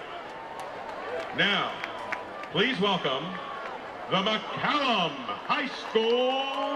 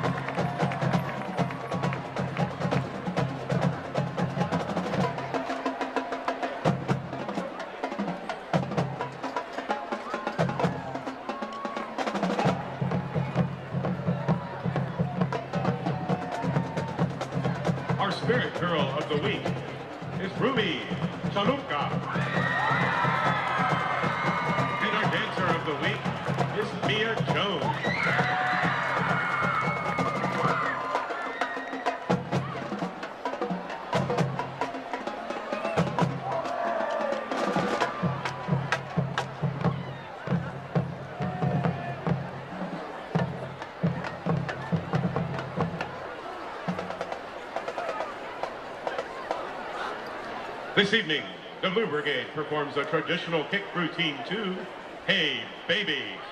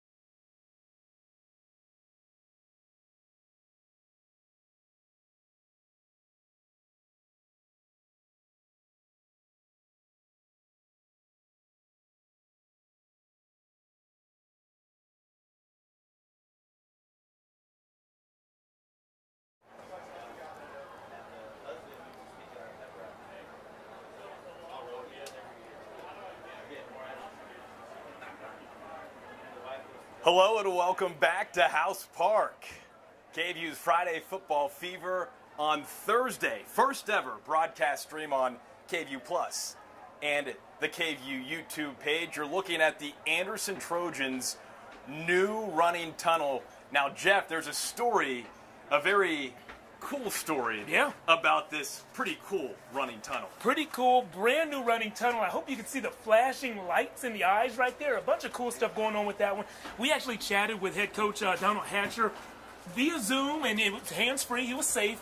When he was on the road on Tuesday to go and get that brand new tunnel from Dallas, this thing is uh, new and it looks like it's bringing good luck to the Trojans. They lead this thing by five touchdowns at the break, 35 to 0. 35 to nothing. Anderson over McCallum in the 22nd annual Taco Shack Bowl. He's mm-hmm. Jeff Jones. I'm Tyler Feldman.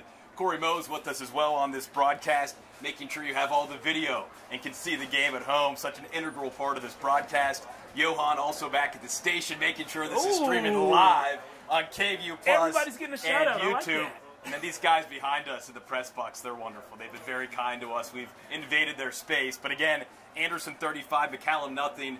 Anderson leading the Taco Shack Bowl series 11 to 10. Looks like it will likely be 12 to 10. They've won three of the last four. Looks like it will be four of the last 5 Mm-hmm. A dominant first half for the Trojans, scoring on five of their six offensive drives. Yeah, so the offense clearly clicking. Ed Small, that wideout, who's going to be a Texas baseball player in the future, showing that he is uh, more than just a baseball player. He is an all-around athlete, as Tyler has told us early in the broadcast. Ed's dad believes that basketball was really his best sport, but he's a Power Five baseball player and a football player who has scored three touchdowns in the first half of his first junior game. So he's showing out on offense. We've seen two quarterbacks play pretty well for the Trojans on offense, and then on defense, on the other side of the ball, Jack Middleton, number 91. If you're joining us right now, he is making things work. Yeah, I want to go ahead and show the players coming out of that brand new tunnel right there.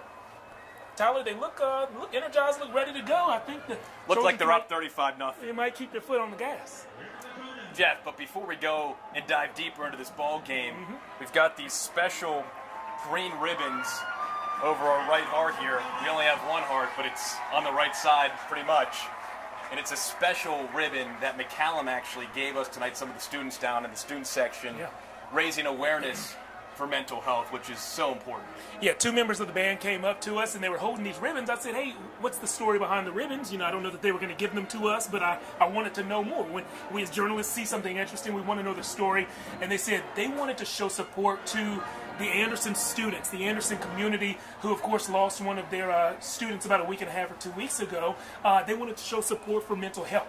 So it just shows that this occasion, this first game of the season. It's a fierce rivalry. These teams are going to battle each other on the field, but uh, in the stands before and after the game, these these people represent AISD. They represent our community, and the kids, the future leaders in our communities, uh, want to do what's right. really great to see as we take a look down at the field now. Again, 35 to nothing. Communities coming together to raise awareness for mental health. Communities coming together for a football game that involves the Taco Shack. Just a special night here in the wonderful city of Austin. A great way to kick off the high school football season here in Texas. Again, KVUE's Friday Football Fever on Thursday. The debut streaming on YouTube and KVUE Plus. We appreciate you joining us and feel free to comment on the YouTube page if you want to interact with us here up in the broadcast booth on the home side, the McCallum side of this football field. 35 to nothing Anderson. Jeff, you talked about it a little bit before we got into halftime, but if you're McCallum, if you're head coach Tom Gammerdinger, you just want to find ways to score. Yeah, yeah. I think right now what you have to do is try to get your kids, your athletes, not to look at the scoreboard. 35-0, that can be intimidating. That can seem overwhelming. So don't think about that. Just think about this drive. Can we put points on the board on this drive? Can we do it two drives in a row? That's what I would talk to them about. Is two drive chunks, offense scoring back-to-back drives, defense gets stops in back-to-back drives. We'll reassess after that. Short kickoff to start the second half. Fair catch made around the 25, and we are underway here in the third quarter. Jeff Jones, Corey Mose, Tyler Feldman. KVUE's Friday Football Fever on Thursday. Having a blast so far. So is Ed Small. We've talked about him enough, but when you have no touchdowns in your first Taco Shack game as a freshman, two as a sophomore, three now as a junior. Maybe he gets At more. least three, But yeah. the trajectory, Jeff, is up. So next year it's got to be four or more, right? I think you just called it eight touchdowns for Ed Small in next year's Taco Shack Bowl. Going to be one of the all-time performances, huh? Sounds like an athlete of the week opportunity for Ed Small. Again, he actually won that award last year. Dunham on first and ten. Jesus Antonio Soto there to make the stop in the backfield. Again, one of those key defensive players, and he showed why a couple times in the first half and starts the second half the right way for that Anderson defense. That Knights O line had seven players lined up there and let two Anderson defenders make a play in the backfield. That can't happen. That's not how you want to start this half. Good news is it's second down. It's time to get back on the right track. Seven players lined up on the offensive line again. Second and 11 from the 24. Dunham takes a snap from the shotgun. Fumble in the backfield. And look who's there. It is quickly recovered. I actually thought Middleton had it. Looked like it to me, but Did it no. slip under his arms? Butler drops on it. Was that Butler? Couldn't tell Anyway. Yeah, couldn't tell you. McCallum, McCallum somehow recovers the fumble, and we saw the uh. mistakes. That's not what you want to see if you're the Knights. Yeah, and now it's, you know, third and 15. This isn't their game right here. Their game is to get those five yard chunks on the ground. Now they have to go through the air. This is not how you want it to have to start. Dunham looks left, looks right, rolls right, and incomplete. Intended for Grayson Lake. Mark Sanchez, excuse me, intended for Mark Sanchez. Fourth and 15 from the 20, and now the Knights will have to punt another drive, another drive with no points. 35 to nothing Trojans. Yeah, yeah, this is not how you wanted to start the half. Uh, you have to dial up those safe plays next time and do what you can to find some momentum and keep these players uh, into it, you know? Because your job right now as a coaching staff is to do everything you can to keep them into the next play, not the next quarter. Don't look at the scoreboard. Don't think big picture right now. Just think small, step by step, play by play. And that's much easier to do when you're seeing success than when you're fumbling snaps, going backwards. Play by play down on the field, play by play up here in the broadcast booth. Jeff, it was 100 plus degrees at the time of kickoff. The sun is now set, and things have really cooled off. It's now 96 degrees outside. Yeah, and as strange as this sounds, 96 degrees is not what McCallum wanted. They wanted it to stay hot in here. Here's an advantage that some people don't think about.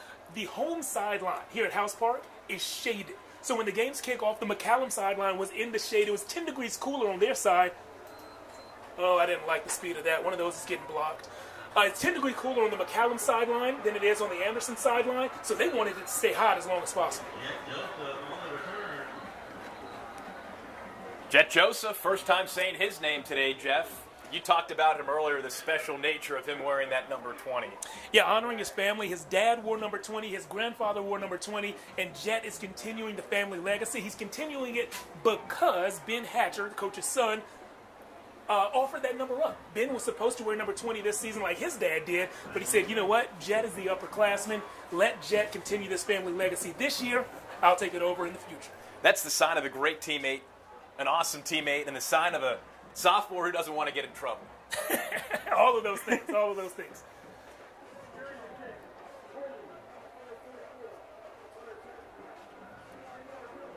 Anderson called for a 10 yard holding penalty on the punt return, so we'll move back a little bit. 10:42 here. Early on in the third quarter, Anderson leading 35 to nothing. If you're just joining us,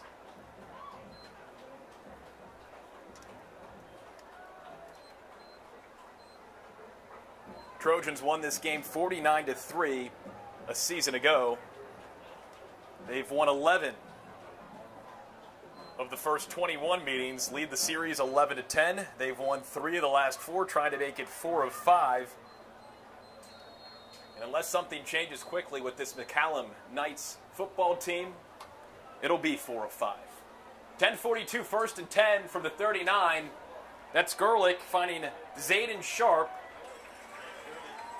Sharp's got those luscious locks flowing out of the helmet, Jeff. Hmm.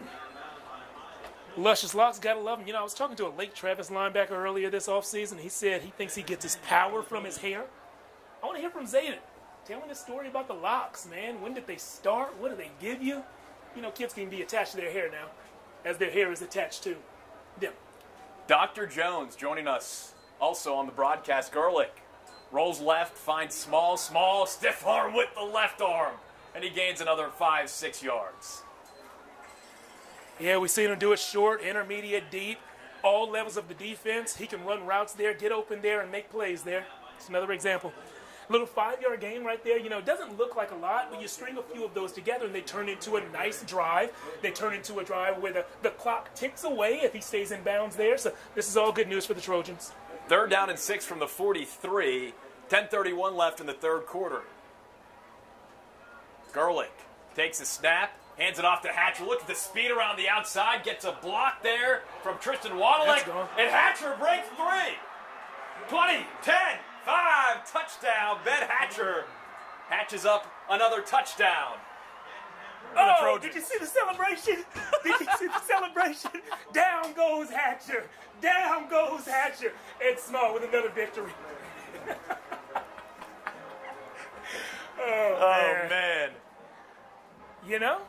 Charlie Despin's a senior right tackle, just holding his arms up. You can't see it on the screen, but was just like, yes, Ben Hatcher, the man who doesn't like to get in trouble, causes some trouble for the Knights defense. Another touchdown for the Trojans. He's a guy who does things the right way, and you do things the right way on and off the field. Of course, it's going to pay off for you, and it's paying off for him big this game. Trojan student section saying this is what we expected. Yeah, been there, done that. Been there, done that. They did it last year, so a lot of the same students in that section again this year. Getting pretty comfortable. And sometimes you win some, you lose some, but the Trojans, back to back years now, up 42 to nothing. Not looking back, it seems like. No, I don't think that this one's going to get swayed in any uh, surprising direction from here on out. Having said that, go ahead and watch the rest of this with us, right? Something cool could happen. And hey, I know what head coach Donald Hatcher is enjoying after this game over at the Taco Shack.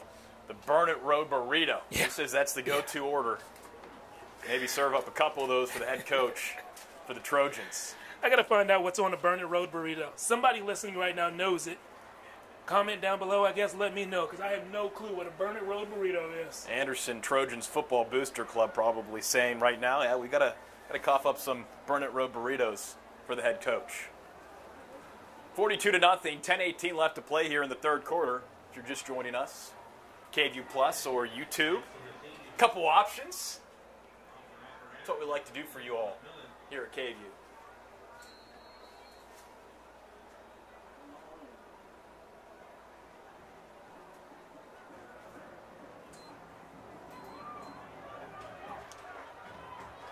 Okay. Mark, right, Sa- there we Mark. Sanchez says. "Let me do a little something with this." Yeah, and he might be the best athlete on the team. He's playing both ways. Coach Gammerdinger said to us explicitly, he said, This guy's going to play a lot. Whether we're winning or losing, when it's competitive, I need my best guys on the field. And Mark Sanchez is one of those best guys on offense and on defense. They haven't been returning a lot of kicks since they fumbled that one in the first quarter. I like that when the ball came to their guy, he didn't think twice. He said, Let's go. You know, I'm still confident. We might not be in this thing to win this, but we're in this to get better, and this is how we're going to do it. Coach Jones, we got to get you down on the field with the headset on. I I'd, don't know lo- about all I'd love to see that. You'd love to see that?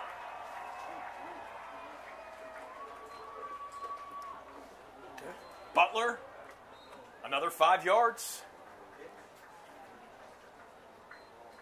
Jesus Antonio Soto there with the stop for the Trojans. And I saw Ashby Reeves, senior offensive lineman, come around and deliver a block. It turned what could have been a three or four yard loss into a three or four yard gain. So definitely want to give a shout out to the old lineman for doing his job and doing it well. And it looks like Butler comes to the sideline, either cramping up Yeah. or injured. Second down and seven from the 35. Dunham, Andrews, Middleton, hammering. Andrews down in the backfield. Middleton, a guy who we've called many, many times, and uh, he continues to do what we've seen all night. And if you look at, there's Butler on the bench. It looks like a cramp, Jeff. Yeah, looks like a- he's just cramped up with that heat. I know I said it dropped down 10 degrees, but it's still really hot out there. Yeah, stretching him out, and it looks like maybe he's maybe he's getting up and gonna gonna try to give it a go. But you know, once those cramps start, it's so hard to get rid of them. So just hope the best for the young man. He's been very productive for uh, the Knights today. Looks to be okay there right now. Maybe a little discomfort. We'll see what happens. Luke Dunham on Yes. 39 from the 33. We've got we've got flags. We've got movement. Jeff, you called you said that. Saw that from a mile away. Yeah, yeah, and that's the second time we've seen that. The first time it went uncalled. It was on that fourth down uh, attempt that was not converted. It was the pass play that came towards the boundary right towards the end of the second quarter. And so we've seen the, the running back start leaning forward, and if you're leaning at the wrong time, it's wrong. Gamer Gabriel saying McCallum go on YouTube. I'm sure a lot of Knights fans hold that same sentiment. Third down and 14 from the 28, 8:30 left. Down 35 to nothing here in the third quarter. Dunham drops back, looks up, and finds his man. Jorge Aldape, the junior, All right. saying, "Yeah, that's right. That's how we do." Little flanker slot receiver there. For the Knights, first time saying his name tonight. Mm-hmm. Big first down for the Knights, Jeff. Yeah, huge. I, I didn't know that they were going to convert that one when I saw how happy the feet of the quarterback were at the snap. Uh, he, he looked uncomfortable in the pocket, but he found something and made it work. It's really all it's about. You know, just making it work for a few plays in a row. You get your confidence, you calm down, and things change. Andrews gets the handoff, bounces up for a couple.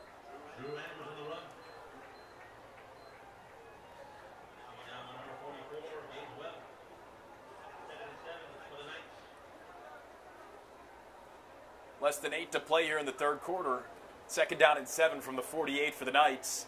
See if they can get points on the board, Jeff. I know you've been reiterating that, but again, if you're McCallum, first week of the season, first game of the season, dealing with all those injuries. Yeah, tons of injuries, and I mean honestly, these guys knew coming in that they were going to be the underdogs. McCallum has about 38 players on the roster. Uh, Anderson has nearly twice as many. So they knew that they were going to be the underdogs in this one. We see the score is lopsided. Right now, they're trying to find something positive to hold on to, something that they can show their kids in film tomorrow, Sunday, Monday, and uh, say this is how we do it. Gage Webb making the stop for the Trojans on that last play. It's third down and seven now from the 48 for the Knights. Luke Dunham from the shotgun.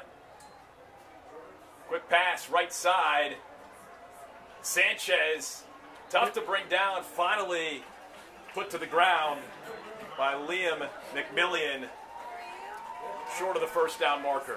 Familiar place on the field, familiar down and distance, fourth and medium on the right side of the 50. They've gone for it twice before. It has not paid off twice before. It's third time a charm. And we've seen this before. We've seen this before from the Knights in this territory. Is this the time they convert on fourth down? Fourth and four from the 49. Six to play in the third. And we've got movement. Yeah. We've got some uh, frustration up here in the box, obviously. Those pre-snap penalties are a killer. They've you know? been killing the Knights all game. Yeah. You can hear that frustration up here from the coaches. box. Yeah, yeah. And honestly, I'm, they're right.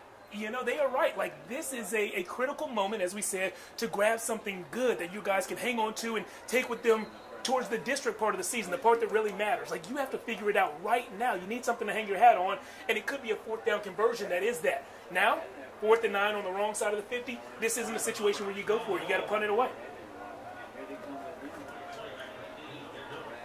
Thurston Roberts, low snap, able to get it away. Boots it. What a punt. You want to talk about something to hang your hat on? Deep. That's the deepest Anderson's been all game, Jeff. Yeah, Inside the five. yeah, yeah, I guess. Uh, There hasn't been a whole lot to hang your head on. yeah. I'm saying that has to be one. Nice little roll. Yeah, nice little roll. Uh, the roll after the punt was better than the roll I saw before the punt. Yeah.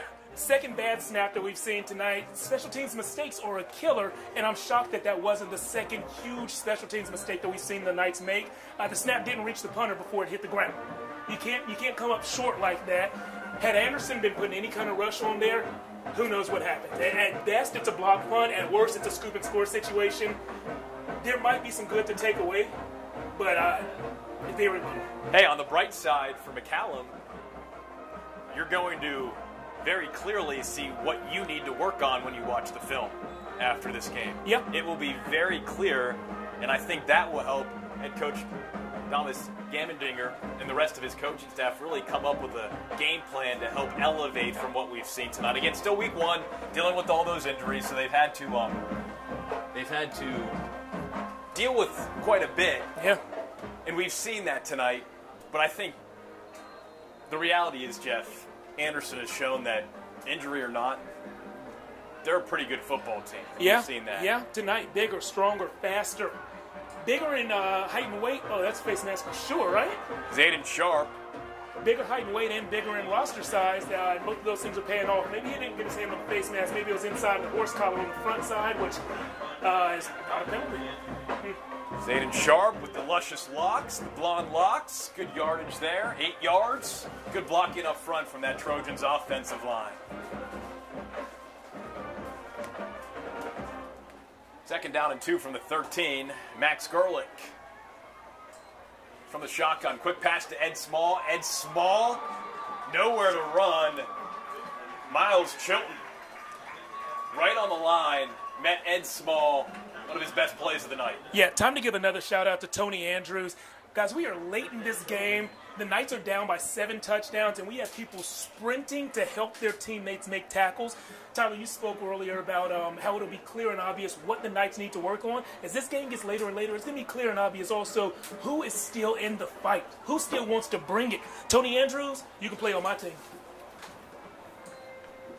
That's quite the compliment. Gerlich gets it to Waterlick. Taken down again. And the, hey, the McCallum coaches room right next to us, they're, they're cheering. Yeah, yeah, the words are very different. The tone is very different. Karan Lewis held on tight there. He could have let go. It would have been the easy thing to do to slide over that tackle. He did the hard thing. He still wants to play and fight in this game. Another guy who can play on my team. Jeff just I'm an effort bolst- guy. bolstering the roster ahead of KVUE's fantasy football draft Sunday night. Gerlich drops back.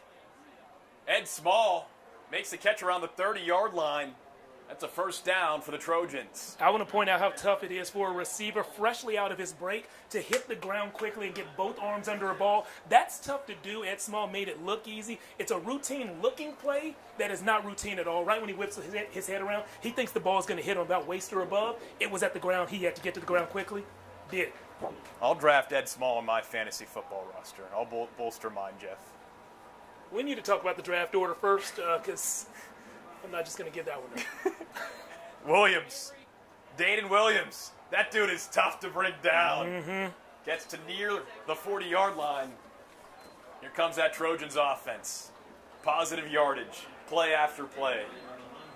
Gerlich looks impressive. It looks like Donald Hatcher has a couple of pretty good quarterbacks on his team this year. Yeah, yeah. And that's a position that it's good to have a, a good backup, you Yeah. know? Second and one from the 39. Gerlich. Quick pass to Ed Small. Over the middle. Brought down by Karan Lewis. Lewis right there on Small, but Small with enough separation to make another grab.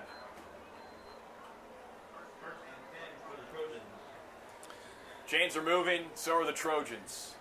2.44 left in the third quarter.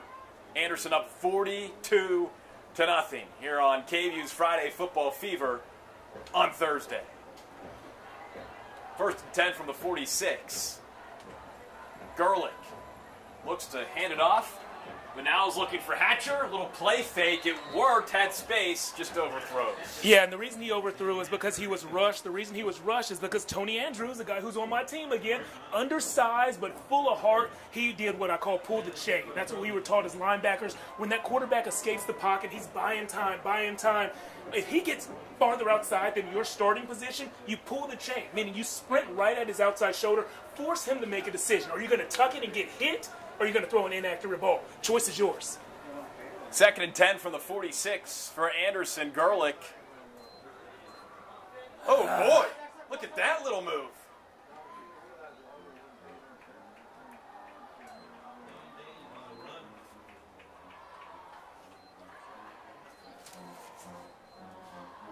Yeah, I've been that linebacker before, and that is not a fun position to be in. Uh, you know, it's tough. You catch those guys in space, and you think you have an angle, and they just all of a sudden hit the brakes, and you know it's hard for you to eliminate that good angle that uh that they just created. Third and five from the 49, Gerlich. Over to Hatcher. Hatcher makes the grab, crosses the chains, and goes for more. Down to the 30 yard line. Another first down for the Trojans. You know, all game long, we have seen the Trojan wide receivers make plays, but they haven't really been wide open like that. Clearly a bust on that play. Uh, somebody got their eyes caught in the backfield, maybe thinking about the prior play, thinking about the run that we saw, and uh, instead of actually playing their assignments and covering the receiver. Dominic Mays in the backfield now, running back, and we've got whistles and a flag. Jeff, got score updates across the league here. What do we got? Texas high school football. You know, we have a bunch of local teams in action right now. A couple of comebacks that could happen late in close games. Hendrickson, the Hawks are down against Belton right now, 35-27 at the beginning of the fourth quarter. The Hawks are at home, though. Fun things happen early in the season at home, so a comeback could be in store there. Bowie leads Vista Ridge 14 to 7, winding third down there. And LBJ and Maynard, we have a halftime score there, so they're about to start the third quarter up. The Mustangs lead 27 to 20 over the Jags. That has been your Texas high school football score update brought to you by Jeff Jones. First and 15 from the 36, Gerlich. Showing he can use the feet and wasn't afraid to bounce off that tackle there on the far sideline. Tackle made by John Scott Mabry. I like what he did. We talked about pulling the chain. He saw that uh, the quarterback was outrunning his teammate, so he came up to help him out. What I like, though, is if you see a quarterback out there inbounds, you got to make sure that quarterback knows that you're there. You got to touch him a little bit. I'm not talking about anything dirty, but just make sure he knows you're there and he feels your presence. I think he let the quarterback get off a little easy there. Three names, one tackle for Mabry. John Scott Mabry. Second and 13 from the 34. Minute left in the third. Gerlich, quick pass. Far side, Zayden Sharp. Positive yardage. The clock continues to tick. Anderson up 42 to nothing. If you're just joining us on KVUE Plus or the KVUE YouTube page.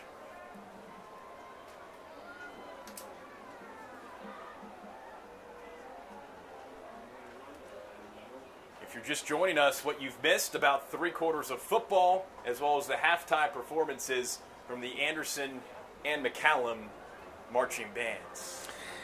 And as we've said, you know, it's really been uh, Ed Small standing out on the Trojans offense. And in the first half, Jack Middleton, a converted offensive tackle who now plays defensive end, was living in the McCallum backfield. Uh, we did see McCallum Knights defensive end Ed Bamba showing up in the backfield as well. So those three players have really popped to me.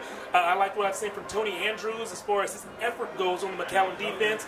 He's a senior team leader, and I, I see why. 13 seconds left here. Herb informing us that it's been a timeout by Anderson. If there's one thing I know I can trust Herb to tell us, it's the timeout situation. And that's been one of the big comforts on this broadcast, is knowing that we have him having our back, Jeff. You know, comfort, a safety net, a Safety trusted net. ally. I, there, there are just not enough phrases out there to describe what he's been for us. He's been the perfect uh, mint, oregano, perfect parsley topping to our I believe that's Herb, right? Ah. Soft H. He's a he's a hard Soft H, right? H, got it, He's more of a Herb. Okay, get it. Do you get it. hear me? I heard you. I'll let you have that one, Jeff. Ugh. What time is it? Hey, just letting you know, sports at 10, about 10:20 on KVUE. Still gonna happen. Still gonna happen. Don't you worry about that. Jeff will make it happen. Gerlich drops back on third down and eight, steps up, Bamba. Oh. finds his guy. Is that Wadalick out there? It is Wadalick. Looked like Gerlich had room to run and just get across the marker. I think so. I think so. And I'm trying to see, did he let that ball go when he was in front of the line of scrimmage? What, what happened here? I did see Bamba closing in quickly, and I thought he was going to make it there just before the ball left the quarterback's hands. He did not. Second time this game that's happened. Uh, the first touchdown. Five yard penalty. He was past the line of scrimmage. There we go. There we go. The first touchdown we saw, um, Bamba was just maybe a split second away from either forcing a fumble or getting a huge sack, but instead the quarterback got the ball off just in time and it went for a long and small touchdown. Well, there's six seconds left here in the third quarter. 22nd annual Taco Shack Bowl, 51st ever meeting between these two heated rivalries here in the Austin area. McCallum and Anderson. Trojans up 42 to nothing. It's been all Trojans in this ball game. Gerlich fakes the handoff to Hatcher. Now looks deep across the middle to Sharp. Had him, but that ball falls just short on third down and 13. He had good read, pretty good toss. He couldn't really stop and get his feet into it because, again, Bamba was chasing him. Uh, Bamba's popping. And this is the time where I'm really, if I'm on the McCallum sideline, this is the time where I'm really looking for people to separate themselves. They're not going to win this game. But there's still something to play for, and I want to see the kids who understand that. Because if they're able to play hard when they're down six touchdowns, I know they're going to play hard when they're up or when they're in it. And so Bamba's one of those guys who uh, he's proven why he's a team leader. End of the third quarter here at historic House Park. Sun has, as you can see, very much set. Sub 100 degree temperatures now. Upper 90s though. Anderson leading 42 to nothing. You are streaming live KVUE's Friday Football Fever on Thursday. Jeff Jones, Tyler Feldman, Corey Bose with us. Johan Castro, making sure you can watch us and hear us back home at the studio. We appreciate it, everyone who's tuned in tonight. Still have one more quarter to play. We'll see if Anderson can make it four out of the last five Taco Shack Bowls. They lead the all-time series 29 to 21. Looking to make it 30 and 21.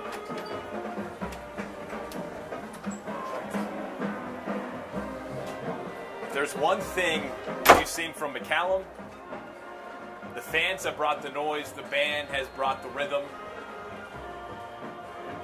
And here we go to start the fourth quarter. It's McCallum football. Dunham hands it off to Sanchez. Sanchez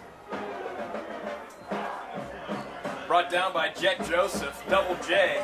Second double J, I know. Excellent initials, excellent tackle, says Jeff Jones. Jeff Yeah. Jones standing to my left with a smile. You know, the McCallum run game, when it's been right, it's been very right, and it's typically been up the middle. I, I gave a shout out to the center and the two guards earlier. Uh, we've seen a few plays go off tackle and, and a few unblocked defenders. That's not what you want. Ball on the 32 yard line, second and 10. Dunham back to Sanchez, cuts right.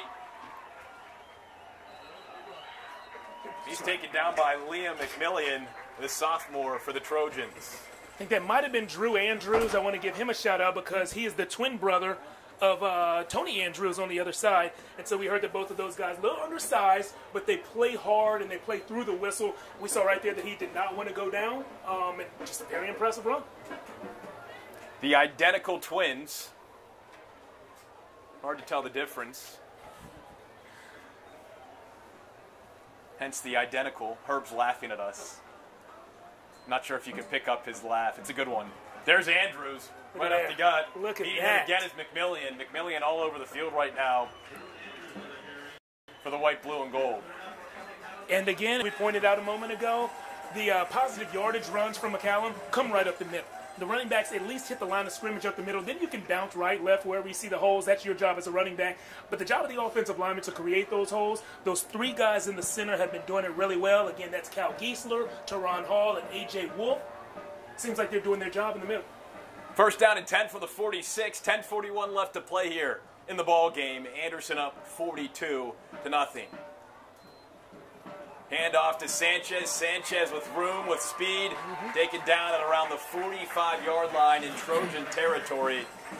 by Grayson Lake. This is the drive, Tyler. This is the drive that you lead film with. You let them know this is us at our best.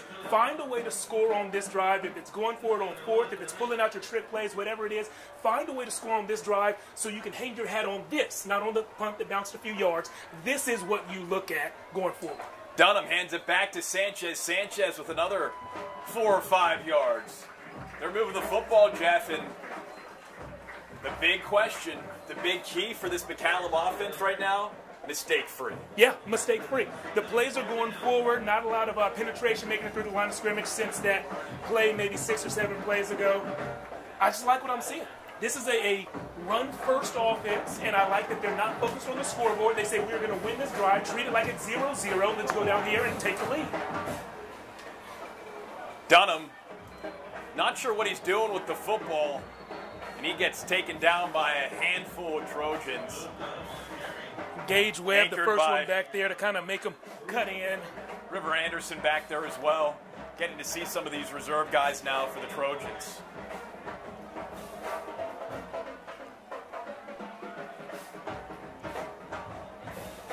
Nine minutes and counting in this ball game. It's pretty much been Anderson right from the get-go. Some early mistakes by the Knights, leading to a few touchdowns for the Trojans in that first quarter. Anderson never looked back. Up 42 to nothing now. The defense has been stout, and McCallum just trying to find the end zone or just some points, anything positive late in this ball game. Toss left to Andrews. Cuts left, cuts right. Across the 40, and there's a flag after the play. And Andrews is sudden. I like that burst he has, man. And I tell you what else I like. Ashby Reeves, another offensive lineman who I've called out before. I saw him having to get up off, off of somebody, and he was on top. So give him a pancake, coach, when you're reviewing this film. Ashby Reeves looked like he did something well on that play. Andrew saying, with that burst of speed, Jeff, we're not getting shut out by our rivals. I don't care what it takes. So important to get that goose egg off of there. Something to build on. That's what they're working towards right now. And, you know, if they can limit the penalties, limit the mistakes, I think that's what they'll get on this drive. Dating back to 2004, no team has been shut out in the Taco Shack Bowl. So Anderson and McCallum could make some history tonight if the Knights fail to find the end zone or kick a ball through the uprights. Yeah, so no shutouts, and obviously the fewest amount of points came last year when McCallum only scored three. We're hoping that they can uh, get it in gear. Second and 22 from the 47. There's Andrews. Gets a block, but then gets taken down quickly. River Anderson, Jet Joseph, Mark Heatley, all in there with the stop for the Trojans. River Anderson. That name just flows.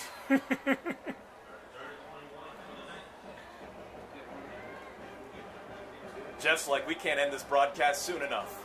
No, I'm, just, I'm just kidding. nah, We're having a blast up here. loving I'm just joking. I'm just joking. That's sarcasm for all of you listening at home. Third and 21 from the 48. Dunham in the shotgun. He's got Andrews back there. Looks left. Yeah, it's a steps up.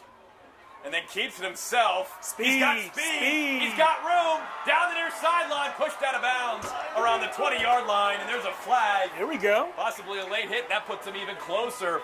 Jeff, Knights are smelling some points here. Yeah, I don't know if they're going to call a late hit or if they're going to call horse collar on that, but there was some uh, some activity that was not legal on the sideline right there, and it happened on the McCallum sideline. So you know the cheerleaders, the ball boys, the coaches, the players, the fans, everybody was letting the refs know. Throw that flag. Don't keep it in the pocket.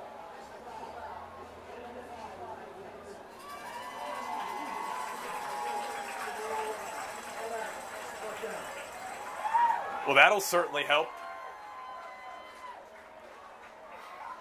As we zoom out and show you a better grasp of the field. Look at that.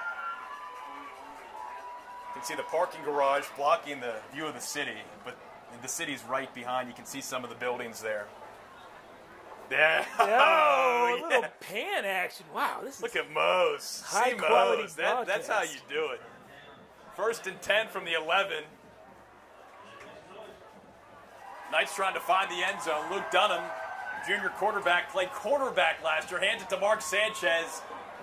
Oh, Is that Gage Ran Webb? Who was that? brick wall. Yeah, Gage Webb. Gage Webb. We've seen him all night. Short tackler. Sanchez. Yeah.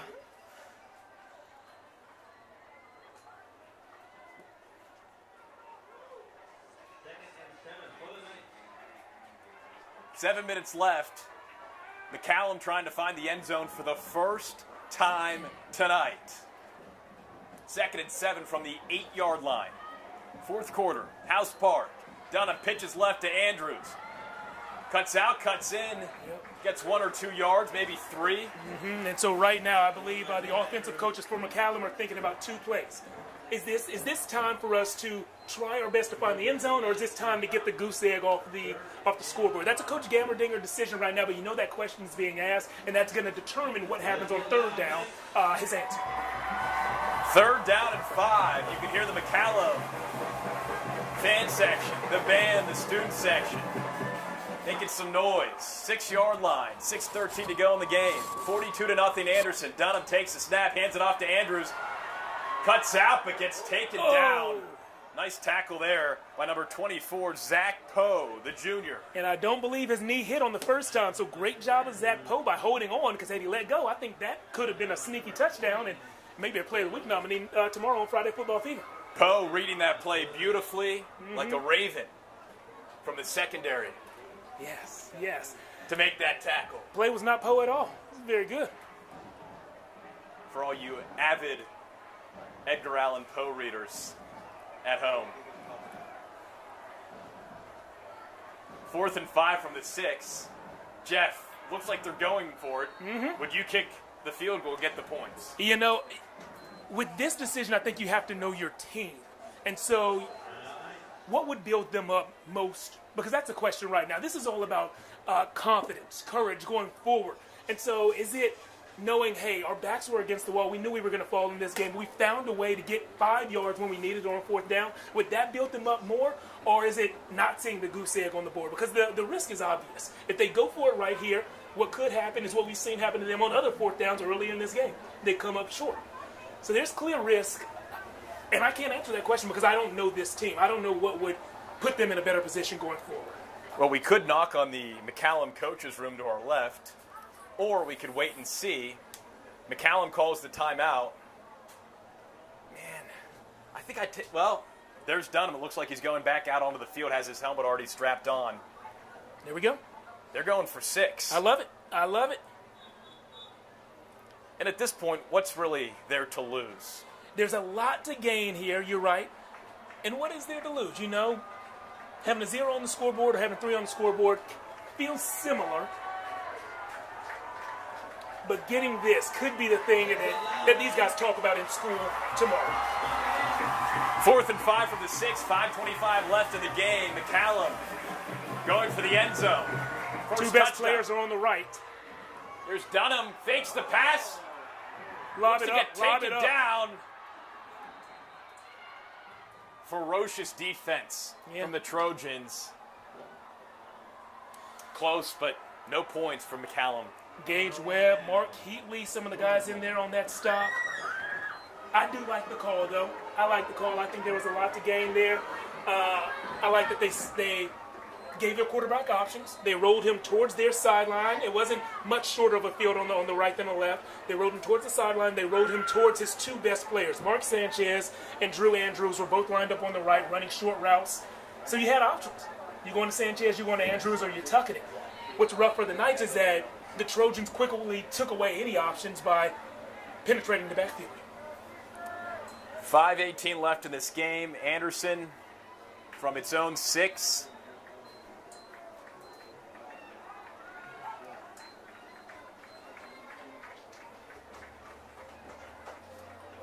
Hands it off to Williams. Just making that clock tick. This game all but over. Anderson will be the winner of the 22nd annual Taco Shack Bowl to take a 12 to 10 lead in this rivalry series. Obviously, it dates back much further than that. 51st meeting between these two teams. Anderson, with the win, would get their 30th win all time. against McCallum. Pass there, intended for Sharp. Incomplete. Gerlich. Still navigating the offense. We saw Brady Gephardt start the game, the senior, number mm-hmm. 12 for the Trojans. They went up big. Three plus scores. Gerlich time. Head coach Donald Hatcher with options. Third and 10 from the six. 4.30 left in the game. Another handoff. Dominic Mays. Ed Bamba in the backfield again. Clock keeps running. We've got some fans trickling out of the stands. Trying to beat that city traffic back home, Jeff, on a Thursday night, a school night. School night. We've yeah. got school in the morning, Jeff. Better see you at home room. the second period. Homeroom was second period when I was in school. That doesn't make much sense at all. You know, in Pittsburgh, where I'm from, homeroom was the first period. See, I feel like that makes more sense. Homeroom. Yeah. Well, I guess some people had athletics first period, so maybe it makes sense. Maybe it makes sense. We've got a timeout. Herb's telling us. I've met a lot of people in my life, Jeff. No one knows timeouts better than, than Herb. He's keeping track of them.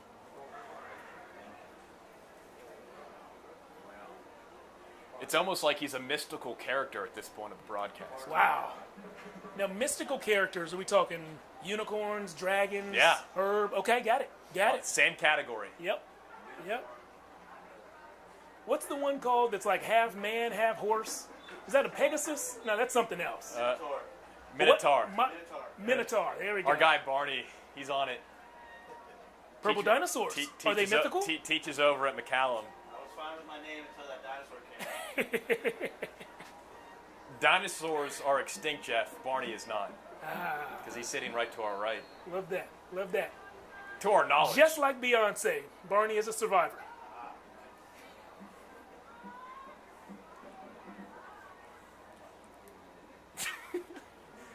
We've got 342 left in this ball game.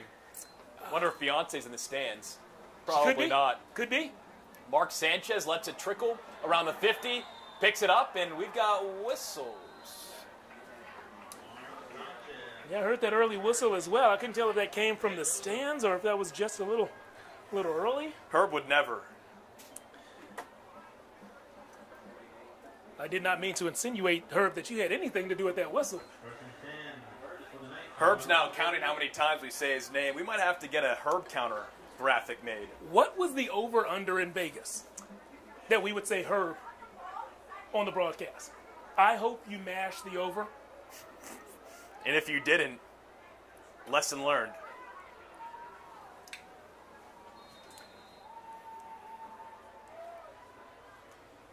McCallum takes over at their own 48 yard line. Dunham, direct snap, runs with it across the 45 into Trojan territory.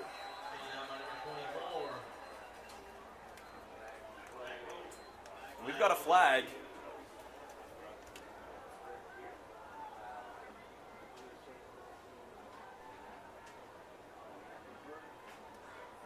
A reminder if you're just joining us, KVUE News, 10 o'clock, mm-hmm. every night, seven days a week. Including tonight? including tonight, Wow, Jeff. okay. And Jeff, my expectation is I'll get to watch you on TV tonight. I can do that. Do a little sports, I live up to expectations most of the time. maybe Don't some wanna set the bar highlights from high. this ball game. Definitely some highlights from this ball game. If you haven't seen enough Ed Small on the stream, you can see some Ed Small on the big screen. Small on the big screen. Just sounds right. 322 left in this ball game. Second down and 18 from the night zone 40. They got pushed back a little bit. Butler back in the ball game. Finds a seam, and he's back over, out across the Trojans 45. Just like that, picks up what was lost. A down to go. Third down and three.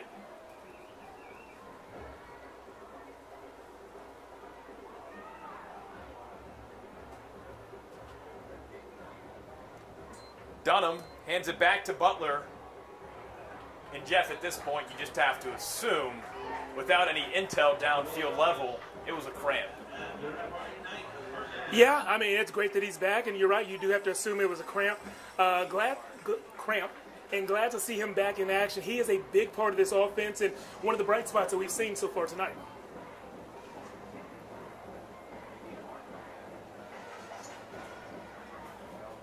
Dunham on first and 10, back to Butler. And Butler had space, but he gets tripped up. Across midfield, Jake Labo, the junior for the Trojans, making that stop. Can the Knights find the end zone? Two minutes to go. Down 42 to nothing. Week one of the Texas high school football season. And you are streaming it live right here on KVUE's Friday Football Fever on Thursday. Dunham hands it off to Andrews. Andrews, spin cycle. Cleaning some of that dirt off the Trojans' white uniform forms, white jerseys.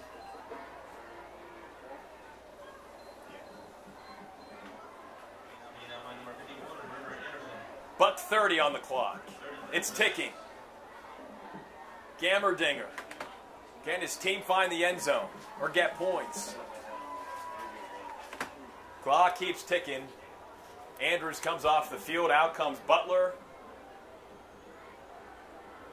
Butler in the backfield. You've got everyone on offense looking at their play cards. What do we have in store here? Something special. Dunham in the shotgun. Dumps it off to Butler. Butler with speed. Great tackle there. Yep. Far side. Noah Saldivar, the junior, trips him up beautifully. I love to see these kids still playing hard. I hear the coaches still coaching hard to our left up here in the booth. Uh, it's just right now it's about finishing, and it's also about getting points on the board. They have 45 seconds left in this game to do just that. But you know, you want to see the fight, and we've seen the fight. Nobody wearing blue is let up in this matchup. Fourth down and two, 30 seconds to go. Last chance for the Knights, and they're just going to push forward. Yeah, I'm not sure how much you guys are able to hear, but sorry if uh, any background noise picked up there that, that wasn't what you expected. Uh, got a lot of passion going on in this in this in this booth, and I understand why. I'm big on passion, Jeff. It's a rivalry game. You know, things are a little outside, and you get things going in the right direction. And you see the yellow flag on the field. It's not what you want to see. Setting up about a fourth and seven. Of course, they're going to go for it. Fourth and seven from the 38. 28 ticks left on the clock.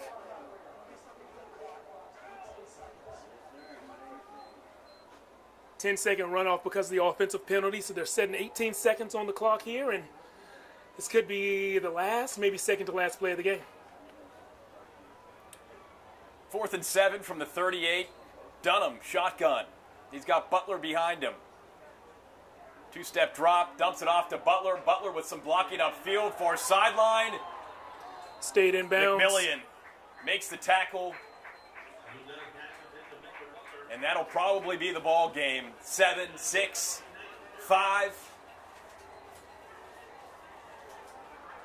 That'll do it. Anderson kicks off the Texas high school football season by winning the 22nd annual Taco Shack Bowl in dominant fashion, 42 to nothing over the McCallum Knights. So a great play from Ed Small, from uh, Jack Middleton. Some players stepped up and made big plays. Ed Bamba on McCallum and a couple of those McCallum running backs as well, as well as the interior of the McCallum offensive line. We saw some great players making plays tonight. Uh, it's an excellent start to high school football this year, Tyler. For the fourth time in the last five seasons, it is the Trojans on the winning side of the Taco Shack Bowl. 51st all-time meeting between these two rivals as you see the McCallum Knights in royal blue and Anderson Trojans in white shaking hands midfield rivals but sportsmen at the end of the day Anderson opens the season with a 1-0 record, a dominant 42 to nothing victory over their rivals. McCallum opens with an 0-1 record. But Jeff, that being said, no better way to start the high school football season than with you by my side, with one of the best rivalries in all of Central Texas. some tacos, some shacks, And some football. we talking Radio Shack, Love Shack, Shaq O'Neal, I think the Love All Shack. the you see the hand shack, shacks, shakes, handshakes, hand shacks. milk shacks. Can't milk forget shakes. Corey on the camera, Johan on the live stream, and Herb filling in all the gaps. Thank you, thank you, Herb. Hey, Appreciate Jeff you. Jones. I'm Tyler Feldman. Once again, it's Anderson 42, McCallum nothing. 22nd annual Taco Shack Bowl favors the Trojans this time. It's 9:59. We'll see y'all on TV in about 15 or 20 minutes. Once again, you've been streaming for the first time ever KVUE's Friday Football Fever on Thursday. Thanks for joining us, everyone. Have a wonderful rest of your night. And we've got Friday Football Fever tomorrow night on KVUE. We'll see you then.